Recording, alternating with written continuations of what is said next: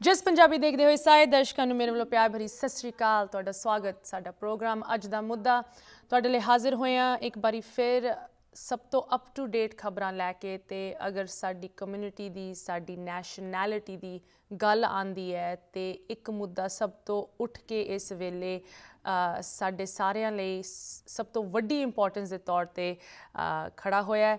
ਜਦੋਂ ਮੈਂ ਕਿਸਾਨਾਂ ਦੀ ਗੱਲ ਕਰਦੀ ਹਾਂ ਇਸ ਵੀਕਐਂਡ ਆਪਾਂ ਕਹਿ ਸਕਦੇ ਹਾਂ ਇੱਕ ਹਿਸਟੋਰਿਕ ਨੰਬਰ ਗਿਣਤੀ ਦੇ ਵਿੱਚ, ਇੰਨੇ ਵੱਡੀ ਗਿਣਤੀ ਦੇ ਵਿੱਚ ਸਾਨੂੰ ਨੇਸ਼ਨ ਵਾਈਡ ਖਾਸ ਕਰਕੇ ਯੂਨਾਈਟਿਡ ਸਟੇਟਸ ਦੇ ਵਿੱਚ, ਵੱਖ-ਵੱਖ ਸ਼ਹਿਰਾਂ ਦੇ ਵਿੱਚ ਪ੍ਰੋਟੈਸਟ ਵੇਖਣ ਨੂੰ ਮਿਲੀਆਂ। ਕਾਰ ਰੈਲੀਜ਼ ਐਮਬਸੀਜ਼ ਤੇ ਇੰਡੀਅਨ ਕਾਉਂਸਲੇਟਸ ਅੱਗੇ ਤੁਸੀਂ ਕਹਿ ਲਓ ਮਾਰਚਸ ਪ੍ਰੋਟੈਸਟ ਰੈਲੀਜ਼ ਲੋਕੀ ਇਕੱਠੇ ਹੋ ਕੇ ਇਸ ਚੀਜ਼ ਨੂੰ ਦਿਖਾ ਰਹੇ ਕਿ ਦੇਖੋ ਕਿੰਨੀ ਵੱਡੀ ਗਿਣਤੀ ਵਿੱਚ ਸਾਡੀ ਸਪੋਰਟ ਹੈ ਫਾਰਮਰਸ ਪਿੱਛੇ, ਉਨ ਲੀਡਰਾਂ ਪਿੱਛੇ ਜੋ ਸਾਡੇ ਹੱਕ ਲਈ ਜਾ ਕੇ ਇਹ ਨੈਗੋਸ਼ੀਏਸ਼ਨਸ ਵਿੱਚ ਬਹਿ ਰਿਹਾ ਹੈ ਇੰਡੀਅਨ ਸਰਕਾਰ ਦੇ ਨਾਲ। ਤੇ ਜਿੱਥੇ ਸਪੋਰਟ ਦੀ ਗੱਲ ਆਂਦੀ ਹੈ, ਸਾਨੂੰ ਜਸ ਟੀਮ ਨੂੰ ਇਸ ਚੀਜ਼ ਨੂੰ ਵੇਖ ਕੇ ਜੋ ਇੰਨੀ ਸਾਰੀ ਪ੍ਰੋਟੈਸਟ ਸੀਗੀਆਂ, ਇਹਨਾਂ ਨੂੰ ਵੇਖ ਕੇ ਇੱਕ ਚੀਜ਼ ਲੱਗੀ ਕਿ ਦੇਖੋ ਪ੍ਰੋਟੈਸਟ ਤੁਸੀਂ ਜਾ ਰਹੇ ਹੋ ਰੈਲੀ ਵਿੱਚ ਤੁਸੀਂ ਹਿੱਸਾ ਲੈ ਰਹੇ ਹੋ, ਬਹੁਤ ਹੀ ਵਧੀਆ ਗੱਲ ਹੈ, ਬਹੁਤ ਹੀ ਇੰਪੋਰਟੈਂਟ ਚੀਜ਼ ਹੈ। ਬਟ ਉਸ ਰੈਲੀ ਨੂੰ ਤੁਸੀਂ ਜਦੋਂ ਛੱਡ ਕੇ ਚੱਲ ਜਾਂਦੇ ਹੋ, ਤੁਹਾਡੀ, ਤੁਸੀਂ ਕਹਿ ਲਓ ਡੇ ਟੂ ਡੇ ਲਾਈਫ ਸ਼ੁਰੂ ਹੋ ਜਾਂਦੀ ਹੈ। ਉਸ ਤੋਂ ਬਾਅਦ ਜੋ ਕਿਸਾਨਾਂ ਦਾ ਅੰਦੋਲਨ ਹੈ, ਜੋ ਕਿਸਾਨ ਉੱਥੇ ਦਿੱਲੀ ਵਿੱਚ ਆਪਣਾ ਹਰ ਪਲ ਉੱਥੇ ਗੁਜ਼ਾਰ ਰਿਹਾ, ਉੱਥੇ ਬੈਠਾ ਹੋਇਆ ਆਪਣਾ ਸਭ ਕੁਝ ਛੱਡ ਕੇ ਆ ਕੇ ਉੱਥੇ ਬੈਠਾ ਹੋਇਆ ਉਹਨਾਂ ਦੇ ਕੋਲ ਤਾਂ ਇਹ ਆਪਸ਼ਨ ਨਹੀਂ ਹੈ। ਉਹਨਾਂ ਨੂੰ ਅਗਰ ਆਪਾਂ ਸਪੋਰਟ ਕਰਨੀ ਹੈ ਤੇ ਜੋ ਉਹਨਾਂ ਦੀ ਵਿਜ਼ੂਅਲ ਆਪਾਂ ਕਹਿ ਸਕਦੇ ਹਾਂ, ਜਿੰਨੀ ਗਿਣਤੀ ਵਿੱਚ ਜਿਸ ਤਰ੍ਹਾਂ ਸਾਰਾ ਟਾਈਮ ਉਹ ਆਪਣਾ ਹੱਕ ਜਤਾ ਰਹੇ ਹੈ, ਆਪਣੇ ਹੱਕ ਲਈ ਉੱਥੇ ਖੜੇ ਹੈ, ਬੈਠੇ ਹੈ, ਲੜ ਰਹੇ ਹੈ, ਉਸ ਤਰ੍ਹਾਂ ਆਪਾਂ ਕੀ ਕਰ ਸਕਦੇ ਹਾਂ ਇੱਥੇ? ਜੋ ਇੱਕ ਤੁਸੀਂ ਕਹਿ ਲਓ ਵਿਜ਼ੂਅਲ ਤਰੀਕੇ ਦੇ ਨਾਲ ਤੇ ਇੱਕ ਪਰਮਨੈਂਟ ਤਰੀਕੇ ਦੇ ਨਾਲ 올 ਦਾ ਟਾਈਮ ਤਰੀਕੇ ਨਾਲ ਲੋਕਾਂ ਨੂੰ ਦੱਸੇ ਕਿ ਹਾਂ ਮੈਂ ਇੱਕ ਇੰਡੀਵਿਜੂਅਲ ਤੌਰ ਤੇ ਕਿਸਾਨੀ ਨੂੰ ਸਪੋਰਟ ਕਰਦਾ, ਕਿਸਾਨਾਂ ਦੇ ਮੁੱਦੇ ਨੂੰ ਸਪੋਰਟ ਕਰਦਾ ਹਾਂ। ਇਸ ਲਈ ਤੁਸੀਂ ਦੇਖ ਸਕਦੇ ਹੋ ਮੇਰੀ ਰਾਈਟ ਬਾਹ ਤੇ ਬੰਦੀ ਹੋਈ ਹੈ ਇਹ ਹਰੀ ਪੱਟੀ। ਇਹ ਹਰੀ ਪੱਟੀ ਸਾਡੇ ਸਾਰੇ ਜਸ ਟੀਮ ਮੈਂਬਰਸ ਪਾ ਕੇ ਰੱਖਣਗੇ ਜਦੋਂ ਤੱਕ ਇਹ ਕਿਸਾਨ ਅੰਦੋਲਨ ਰਿਜ਼ੋਲਵ ਨਹੀਂ ਹੁੰਦਾ। ਜੋ ਕਿਸਾਨਾਂ ਦੀ ਮੰਗ ਹੈਗੀ, ਜੋ ਉਹਨਾਂ ਦੇ ਲੀਡਰਸ ਹਨ ਉਹਨਾਂ ਦੇ ਪਿੱਛੇ ਆਪਾਂ ਸਪੋਰਟ ਵਿੱਚ ਖੜੇ ਹੈਗੇ। ਉਹਨਾਂ ਦਾ ਰੰਗ ਲੈ ਕੇ ਜੋ ਕਿਸਾਨੀ ਦਾ ਰੰਗ ਹੁੰਦਾ ਹੈ, ਸਾਡੀ ਬਾਹ ਉਹਨਾਂ ਦੇ ਨਾਲ ਹੈ, ਸਾਡੀ ਸਪੋਰਟ ਉਹਨਾਂ ਦੇ ਪਿੱਛੇ ਹੈ। ਇਸ ਕਰਕੇ ਸਾਡੇ ਸਾਰੇ ਟੀਮ ਮੈਂਬਰਸ ਅੱਜ ਤੋਂ ਇਹ ਹਰੀ ਪੱਟੀ ਤਦ ਤੱਕ ਪਾਣਗੇ ਜਦੋਂ ਤੱਕ ਇਹ ਕ੍ਰਾਈਸਿਸ ਰਿਜ਼ੋਲਵ ਨਹੀਂ ਹੁੰਦੀ। ਐਂਡ ਸਾਡੀ ਬੇਨਤੀ ਹੈ, ਅਗਰ ਤੁਸੀਂ ਇਸ ਚੀਜ਼ ਦੇ ਵਿੱਚ ਇੱਕ ਵਿਜ਼ੂਅਲ ਤੌਰ ਤੇ ਆਪਣੀ ਸਪੋਰਟ ਆਪਣੇ ਆਪ ਨੂੰ ਇੱਕ ਕਿਸਾਨ ਸਪੋਰਟਰ ਦੇ ਤੌਰ ਤੇ ਆਈਡੈਂਟੀਫਾਈ ਕਰਨਾ ਚਾਹੁੰਦੇ ਹੋ। ਤੁਸੀਂ ਵੀ ਇਹ ਚੀਜ਼ ਕਰ ਸਕਦੇ ਹੋ। ਅਗਰ ਤੁਸੀਂ ਇਹ ਚੀਜ਼ ਕਰਦੇ ਹੋ, ਤੁਸੀਂ ਖੁੱਲ ਕੇ ਸਾਨੂੰ ਉਹਦੀ ਪਿਕਚਰਾਂ ਉਹਦੀ ਵੀਡੀਓਜ਼ ਬਣਾ ਕੇ ਸੈਂਡ ਕਰੋ। ਜ਼ਰੂਰ ਸਾਡੇ ਵੱਲੋਂ ਇਸ ਚੀਜ਼ ਦੀ ਜਿੰਨੀ ਜ਼ਿਆਦਾ ਤੋਂ ਜ਼ਿਆਦਾ ਪ੍ਰਮੋਸ਼ਨ ਹੋ ਸਕਦੀ ਹੈ, ਆਪਾਂ ਕਰਾਂਗੇ। ਮੈਂ ਤੁਹਾਨੂੰ ਥੋੜੀ ਜੀ ਵੀਡੀਓ ਕਲਿੱਪਸ ਦਿਖਾਣਾ ਚਾਹੁੰਦੀ ਹਾਂ ਜੋ ਇਸ ਵੀਕਐਂਡ ਵੱਖ-ਵੱਖ ਸ਼ਹਿਰਾਂ ਦੇ ਵਿੱਚ ਪ੍ਰੋਟੈਸਟ ਹੋਈਆਂ। ਇੱਕ ਵਾਰੀ ਫਿਰ ਇਹ ਬਹੁਤ ਹੀ ਮੈਂ ਕਹਿ ਸਕਦੀ ਹਾਂ ਮੈਂ ਇਸ ਚੀਜ਼ ਨੂੰ ਓਵਰ ਸਟੇਟ ਨਹੀਂ ਕਰ ਸਕਦੀ ਹਾਂ। ਜਿਸ ਗਿਣਤੀ ਦੇ ਵਿੱਚ, ਜਿਸ ਲੈਵਲ ਤੇ ਯੂਨਾਈਟਿਡ ਸਟੇਟਸ ਦੇ ਵਿੱਚ ਪੰਜਾਬੀ ਇੰਡੀਅਨ ਨਾਨ ਇੰਡੀਅਨ ਵੀ ਇਸ ਮੁੱਦੇ ਨੂੰ ਲੈ ਕੇ ਪ੍ਰੋਟੈਸਟ ਕਰਨ ਨਿਕਲੇ। ਇਸ ਵੀਕਐਂਡ ਨਿਊਯਾਰਕ ਸਿਟੀ ਦੇ ਵਿੱਚ ਨਿਊ ਜਰਸੀ ਦੇ ਵਿੱਚ ਕੈਲੀਫੋਰਨੀਆ ਬੇ ਏਰੀਆ ਦੇ ਵਿੱਚ ਤਾਂ ਹਜ਼ਾਰਾਂ ਦੀ ਗਿਣਤੀ ਦੇ ਵਿੱਚ ਪ੍ਰੋਟੈਸਟ ਪ੍ਰੋਟੈਸਟਰਸ ਨਿਕਲੇ। ਤੁਸੀਂ ਦੇਖ ਸਕਦੇ ਹੋ ਜੋ ਬੇ ਏਰੀਆ ਦਾ ਬ੍ਰਿਜ ਹੈਗਾ, ਉਹਨੂੰ ਜੈਮ ਕਰਤਾ। Indianapolis Dallas Texas Michigan Atlanta Georgia ਇਹ ਤਾਂ ਉਹ ਸ਼ਹਿਰਾਂ ਹਨ ਜਿੱਥੋਂ ਵੱਡੇ ਲੈਵਲ ਤੇ ਸਾਨੂੰ ਫੁਟੇਜ ਸਾਡੀ ਕਵਰੇਜ ਜਿੱਥੇ ਹੋਈ ਹੈ ਇਨ ਪ੍ਰੋਟੈਸਟ ਨੂੰ ਲੈ ਕੇ ਇਹਨਾਂ ਦੇ ਬਾਰੇ ਪੂਰੀ ਜਾਣਕਾਰੀ ਤੇ ਡੀਟੇਲ ਕਵਰੇਜ ਤੁਸੀਂ ਕੱਲ ਸਾਡੇ ਸਪੈਸ਼ਲ ਪ੍ਰੋਗਰਾਮ ਦੇ ਵਿੱਚ ਵੇਖ ਸਕਦੇ ਹੋ, ਸਾਡੇ 6 ਵਜੇ ਲਾਈਵ ਬਟ ਇੱਥੇ ਸਾਡਾ ਇਹੀ ਇੱਕ ਤੁਸੀਂ ਕਹਿ ਲਓ ਸਭ ਤੋਂ ਵੱਡਾ ਲੈਸਨ ਰਿਹਾ ਹੈ ਕਿ ਦੇਖੋ, ਜਦੋਂ ਆਰਗੇਨਾਈਜ਼ ਹੋ ਕੇ ਸਾਡੀ ਕਮਿਊਨਿਟੀ ਨਿਕਲਦੀ ਹੈ, ਕੀ ਕੁਝ ਆਪਾਂ ਨਹੀਂ ਹਾਸਲ ਕਰ ਸਕਦੇ? ਅਮਰੀਕਨ ਮੀਡੀਆ ਇਸ ਚੀਜ਼ ਨੂੰ ਨੋਟਿਸ ਕਰਕੇ ਇਹਦੇ ਬਾਰੇ ਵੱਖ-ਵੱਖ ਲੋਕਲ ਤੇ ਨੈਸ਼ਨਲ ਲੈਵਲ ਕਵਰੇਜ ਪ੍ਰੋਵਾਈਡ ਕਰ ਰਿਹਾ ਹੈ। ਵੱਡੇ ਅਖਬਾਰ ਇਹਦੇ ਬਾਰੇ ਲਿਖ ਰਹੇ ਅਮਰੀਕਨ ਪੇਪਰਸ ਵੈਸਟਰਨ ਮੀਡੀਆ ਇਸ ਚੀਜ਼ ਨੂੰ ਕਵਰ ਕਰ ਰਿਹਾ ਕਿਉਂ? ਬਿਕੋਜ਼ ਸਾਡੀ ਗਿਣਤੀ ਉਸ ਚੀਜ਼ ਨੂੰ ਤੁਸੀਂ ਕਹਿ ਲਓ ਫੋਰਸ ਕਰਦੀ ਹੈ ਕਿ ਤੁਸੀਂ ਇਸ ਚੀਜ਼ ਨੂੰ ਡਿਸਕਸ ਕਰੋ ਇਹਨੂੰ ਕਵਰੇਜ ਦਿਓ ਇਸ ਮੁੱਦੇ ਤੇ ਆਪਣੀ ਅਟੈਂਸ਼ਨ ਪਾਓ। um, ਜਦੋਂ ਇਸ ਮੁੱਦੇ ਦੀ ਗੱਲ ਆਂਦੀ ਹੈ ਆਫ ਕੋਰਸ ਦੋ ਤਿੰਨ ਵੱਡੀ ਅਪਡੇਟਸ ਤੁਹਾਡੇ ਲਈ ਅੱਜ ਆਪਾਂ ਪ੍ਰੋਵਾਈਡ ਕਰ ਸਕਦੇ ਹਾਂ, ਜਿਸ ਤਰ੍ਹਾਂ ਤੁਸੀਂ ਸਾਡੀ ਇੰਡੀਆ ਟੀਮ ਤੋਂ ਸੁਣ ਰਹੇ ਹੋ।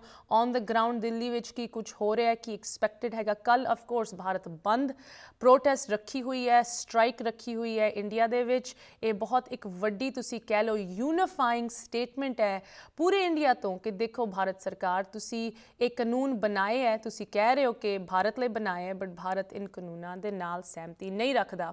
ਕਿਸ ਤਰ੍ਹਾਂ ਇਸ ਭਾਰਤ ਬੰਦ ਸਟ੍ਰਾਈਕ ਦਾ ਇੰਪੈਕਟ ਹੁੰਦਾ ਹੈ। ਵੈਨਸਡੇ ਦੀ ਮੀਟਿੰਗ ਤੇ ਉਹ ਵੀ ਵੇਖਦੇ ਹਾਂ, ਉਹਦੀ ਵੀ ਕਵਰੇਜ ਤੁਹਾਨੂੰ ਪ੍ਰੋਵਾਈਡ ਕਰਾਂਗੇ। ਬਟ ਅੱਜ ਅੱਜ ਦੇ ਪ੍ਰੋਗਰਾਮ ਦੇ ਵਿੱਚ ਮੈਂ ਥੋੜਾ ਜਿਹਾ ਬੈਕ ਟਰੈਕ ਕਰਨਾ ਚਾਹੁੰਦੀ ਹਾਂ। ਬਿਕੋਜ਼ ਇਹ ਜਦੋਂ ਤਿੰਨ ਬਿੱਲ ਬਿੱਲਾਂ ਦੀ ਗੱਲ ਆਂਦੀ ਹੈ ਸਾਨੂੰ ਇੱਕ ਐਵਰੇਜ ਤੌਰ ਤੇ ਮੋਟੀ-ਮੋਟੀ ਚੀਜ਼ਾਂ ਪਤਾ ਹੈਗੀਆਂ ਇਨ ਬਿੱਲਾਂ ਨੂੰ ਲੈ ਕੇ ਕਿ ਕੀ ਇਹ ਦੇ ਹੈਗਾ, ਕੀ ਨਹੀਂ ਹੈ ਤੇ ਕਿਉਂ ਇਹਨਾਂ ਨੂੰ ਰਿਪੀਲ ਕਰਨਾ ਚਾਹੀਦਾ ਬਟ ਅੱਜ ਦੇ ਪ੍ਰੋਗਰਾਮ ਦੇ ਵਿੱਚ ਮੈਂ ਤੁਹਾਡੇ ਨਾਲ ਕੁਝ ਗੈਸਟਸ ਨੂੰ ਲੈ ਕੇ ਆਈ ਹਾਂ ਜੋ ਇਹਨਾਂ ਦੇ ਵਿੱਚ ਥੋੜੀ ਡੀਟੇਲ ਸਾਨੂੰ ਦੱਸਣਗੇ।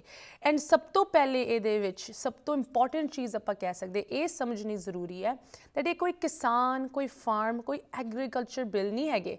ਐਗਰੀਕਲਚਰ ਤੇ ਕਿਸਾਨੀ ਨੂੰ ਤਾਂ ਮੋਹਰਾ ਬਣਾਇਆ ਇਨ ਬਿੱਲਾਂ ਨੇ। ਇਹ ਬਿੱਲ ਐਕਚੁਅਲੀ ਕਾਰਪੋਰੇਸ਼ਨਸ ਜਾਂ ਤੁਸੀਂ ਕਹਿ ਲਓ ਬਿਜ਼ਨਸ ਇੰਟਰਸਟਸ ਦੇ ਹੱਕ ਦੇ ਲਈ ਹੈਗੇ। ਤੇ ਸਭ ਤੋਂ ਵੱਡੀ ਗੱਲ ਤਾਂ ਉੱਥੋਂ ਸ਼ੁਰੂ ਹੁੰਦੀ ਹੈ। ਇਹਦੇ ਨਾਲ ਹੀ ਪ੍ਰੋਗਰਾਮ ਜਾਰੀ ਰੱਖਾਂਗੇ। ਪ੍ਰੋਗਰਾਮ ਬਿਲਕੁਲ ਲਾਈਵ ਤੁਹਾਡੇ ਨਾਲ ਪੇਸ਼ ਕਰਿਆ ਤੁਸੀਂ ਵੀ ਜੁੜ ਕੇ ਸਾਡੇ ਨਾਲ ਆਪਣੇ ਕੁਐਸਚਨਸ ਰੱਖ ਸਕਦੇ ਹੋ। ਸਾਡੇ ਗੈਸਟ ਸਾਨੂੰ ਜੁਆਇਨ ਕਰ ਰਹੇ ਇਸ ਛੋਟੀ ਜੀ ਬ੍ਰੇਕ ਤੋਂ ਬਾਅਦ। ਬ੍ਰੇਕ ਤੋਂ ਬਾਅਦ ਸਾਰੇ ਦਾ ਸਵਾਗਤ, ਤੁਸੀਂ ਵੇਖ ਰਹੇ ਹੋ ਪ੍ਰੋਗਰਾਮ ਅੱਜ ਦਾ ਮੁੱਦਾ ਤੇ ਸਾਡਾ ਮੁੱਦਾ, ਕਿਸਾਨੀ ਸਪੋਰਟ। ਕਿਸਾਨਾਂ ਦੇ ਹੱਕ ਲਈ ਉਹਨਾਂ ਨੂੰ ਸਪੋਰਟ ਕਰਨਾ ਸਾਡਾ ਇਹੀ ਮੁੱਦਾ ਹੈ। ਇਸ ਮੁੱਦੇ ਨੂੰ ਇੱਕ ਤੁਸੀਂ ਕਹਿ ਲਓ ਮੋਹਰ ਦੇਣ ਲਈ, ਇੱਕ ਪਰਮਨੈਂਟ ਜਗ੍ਹਾ ਦੇਣ ਲਈ ਜਿਸ ਤਰ੍ਹਾਂ ਉਹ ਕਿਸਾਨ ਦਿੱਲੀ ਬੈਠੇ ਹੋਏ ਹੈ। ਸਾਰਾ ਟਾਈਮ ਸਾਡੀ ਟੀਮ ਨੇ ਇਹ ਤੁਸੀਂ ਕਹਿ ਲਓ ਹੁਣ ਇਨੀਸ਼ੀਏਟਿਵ ਚੁੱਕਿਆ ਹੈ ਕਿ ਸਾਡੀ ਰਾਈਟ ਆਰਮ ਤੇ ਆਪਾਂ ਇਹ ਗ੍ਰੀਨ ਬੈਂਡ ਬੰਦ ਕੇ ਰੱਖਣਾ ਹੈ ਤਦੋਂ ਤੱਕ ਜਦੋਂ ਤੱਕ ਇਨ ਕਿਸਾਨਾਂ ਨੂੰ ਉਹ ਨਹੀਂ ਮਿਲਦਾ ਜਿਹਦੇ ਲਈ ਉਹ ਬੈਠੇ ਆ ਦਿੱਲੀ। ਕੁਝ ਕਾਲਰ ਸਾਡੇ ਨਾਲ ਜੁੜ ਚੁੱਕੇ ਸੁਣ ਲੈਂਦੇ ਉਹਨਾਂ ਦੇ ਵਿਚਾਰ। ਸਤਿ ਸ਼੍ਰੀ ਅਕਾਲ ਤੁਸੀਂ ਔਨ 에ਅਰ ਹੋ? ਹਾਂਜੀ ਹਾਂਜੀ। ਸਤਿ ਸ਼੍ਰੀ ਅਕਾਲ। ਜੀ ਸਤਿ ਸ਼੍ਰੀ ਅਕਾਲ ਸਤਿ ਸ਼੍ਰੀ ਅਕਾਲ। ਜੀ ਦੱਸੋ। ਤੁਹਾਡੇ ਸਮੁੱਚੇ ਜਸ ਪੰਜਾਬੀ ਦੇ ਸਰੋਤਿਆਂ ਨੂੰ ਤੇ ਤੁਹਾਡੀ ਸਮੁੱਚੀ ਟੀਮ ਨੂੰ ਚਰਨ ਸਿੰਘ ਪ੍ਰੇਮਪੁਰਾ ਕੈਥਲ ਹਰਿਆਣਾ ਵੱਲੋਂ ਪਿਆਰ ਭਰੀ ਸਤਿ ਸ੍ਰੀ ਅਕਾਲ। ਸਤਿ ਸ੍ਰੀ ਅਕਾਲ ਪ੍ਰੇਮਪੁਰਾ ਜੀ ਕੀ ਤੁਸੀਂ ਕਹਿਣਾ ਚਾਹੋਗੇ? ਸਭ ਤੋਂ ਪਹਿਲਾਂ ਤੇ ਅਸੀਂ ਤੁਹਾਨੂੰ ਪੰਜਾਬ ਵਾਲਿਆਂ ਨੂੰ ਵੱਡਾ ਭਰਾ ਸਮਝਨੇ ਤੇ ਮੋਦੀ ਸਾਹਿਬ ਦਾ ਧੰਨਵਾਦ ਕਰਨੇ ਆ ਜਿਨ੍ਹਾਂ ਹਰਿਆਣੇ ਪੰਜਾਬ ਦੀਆਂ ਗੱਲ ਵੱਖਰੀਆਂ ਪਵਾਤੀਆਂ ਜੀ। ਇੰਨਾ ਪਿਆਰ ਜਾਗਿਆ ਵੀ ਜਿਹੜਾ ਸਿਆਸਤਦਾਨਾ ਸਾਰੇ ਘਰ ਬਿਠਾਤੇ ਨੇ ਕਿਸਾਨਾਂ ਨੇ। ਜੀ। ਤੇ ਇਹ ਸੰਘਰਸ਼ ਨੂੰ ਮੈਂ ਦੁਨੀਆ ਦੇ ਵਿੱਚ ਰਿਕੁਐਸਟ ਕਰਨਾ ਕਿ ਕੋਈ ਵੀ ਲਗਾਵਾਦੂ ਇਹਨੂੰ ਹਾਈਜੈਕ ਨਾ ਕਰ ਲੇ ਜਿਵੇਂ ਪਹਿਲਾਂ ਸਾਡਾ ਜੀ। ਸਾਡਾ ਜਿਵੇਂ ਸਰਬੱਤ ਖਾਲਸਾ ਹਾਈਜੈਕ ਕਰ ਲਿਆ ਸੀ। ਜੀ। ਬਰਗਾੜੀ ਵਾਲਾ ਮੋਰਚਾ ਤੇ ਜਿੰਨਾ ਵੀ ਪਹਿਲਾਂ ਜੋ ਕੁਝ ਹੋਇਆ ਉਹ ਨਾ ਹੋਵੇ ਜਿੱਤੇ ਪਏ ਆ ਸੀ ਜੀ। ਬਿਲਕੁਲ ਜਿੱਤੇ ਪਏ ਆ। ਇਹ ਕਾਨੂੰਨ ਵਾਪਸ ਹੋਣਗੇ। ਜੀ। ਕਿਸਾਨ ਵਿੱਚ ਕੋਈ ਜਾਤ ਪਾਤ ਨਹੀਂ ਕੋਈ ਪਾਰਟੀ ਨਹੀਂ। ਬੇਟਾ ਜੀ ਤੁਹਾਡਾ ਬਹੁਤ ਬਹੁਤ ਧੰਨਵਾਦ। ਬਹੁਤ ਬਹੁਤ ਧੰਨਵਾਦ। ਥੈਂਕ ਯੂ ਪ੍ਰੇਮਪੁਰਾ ਜੀ।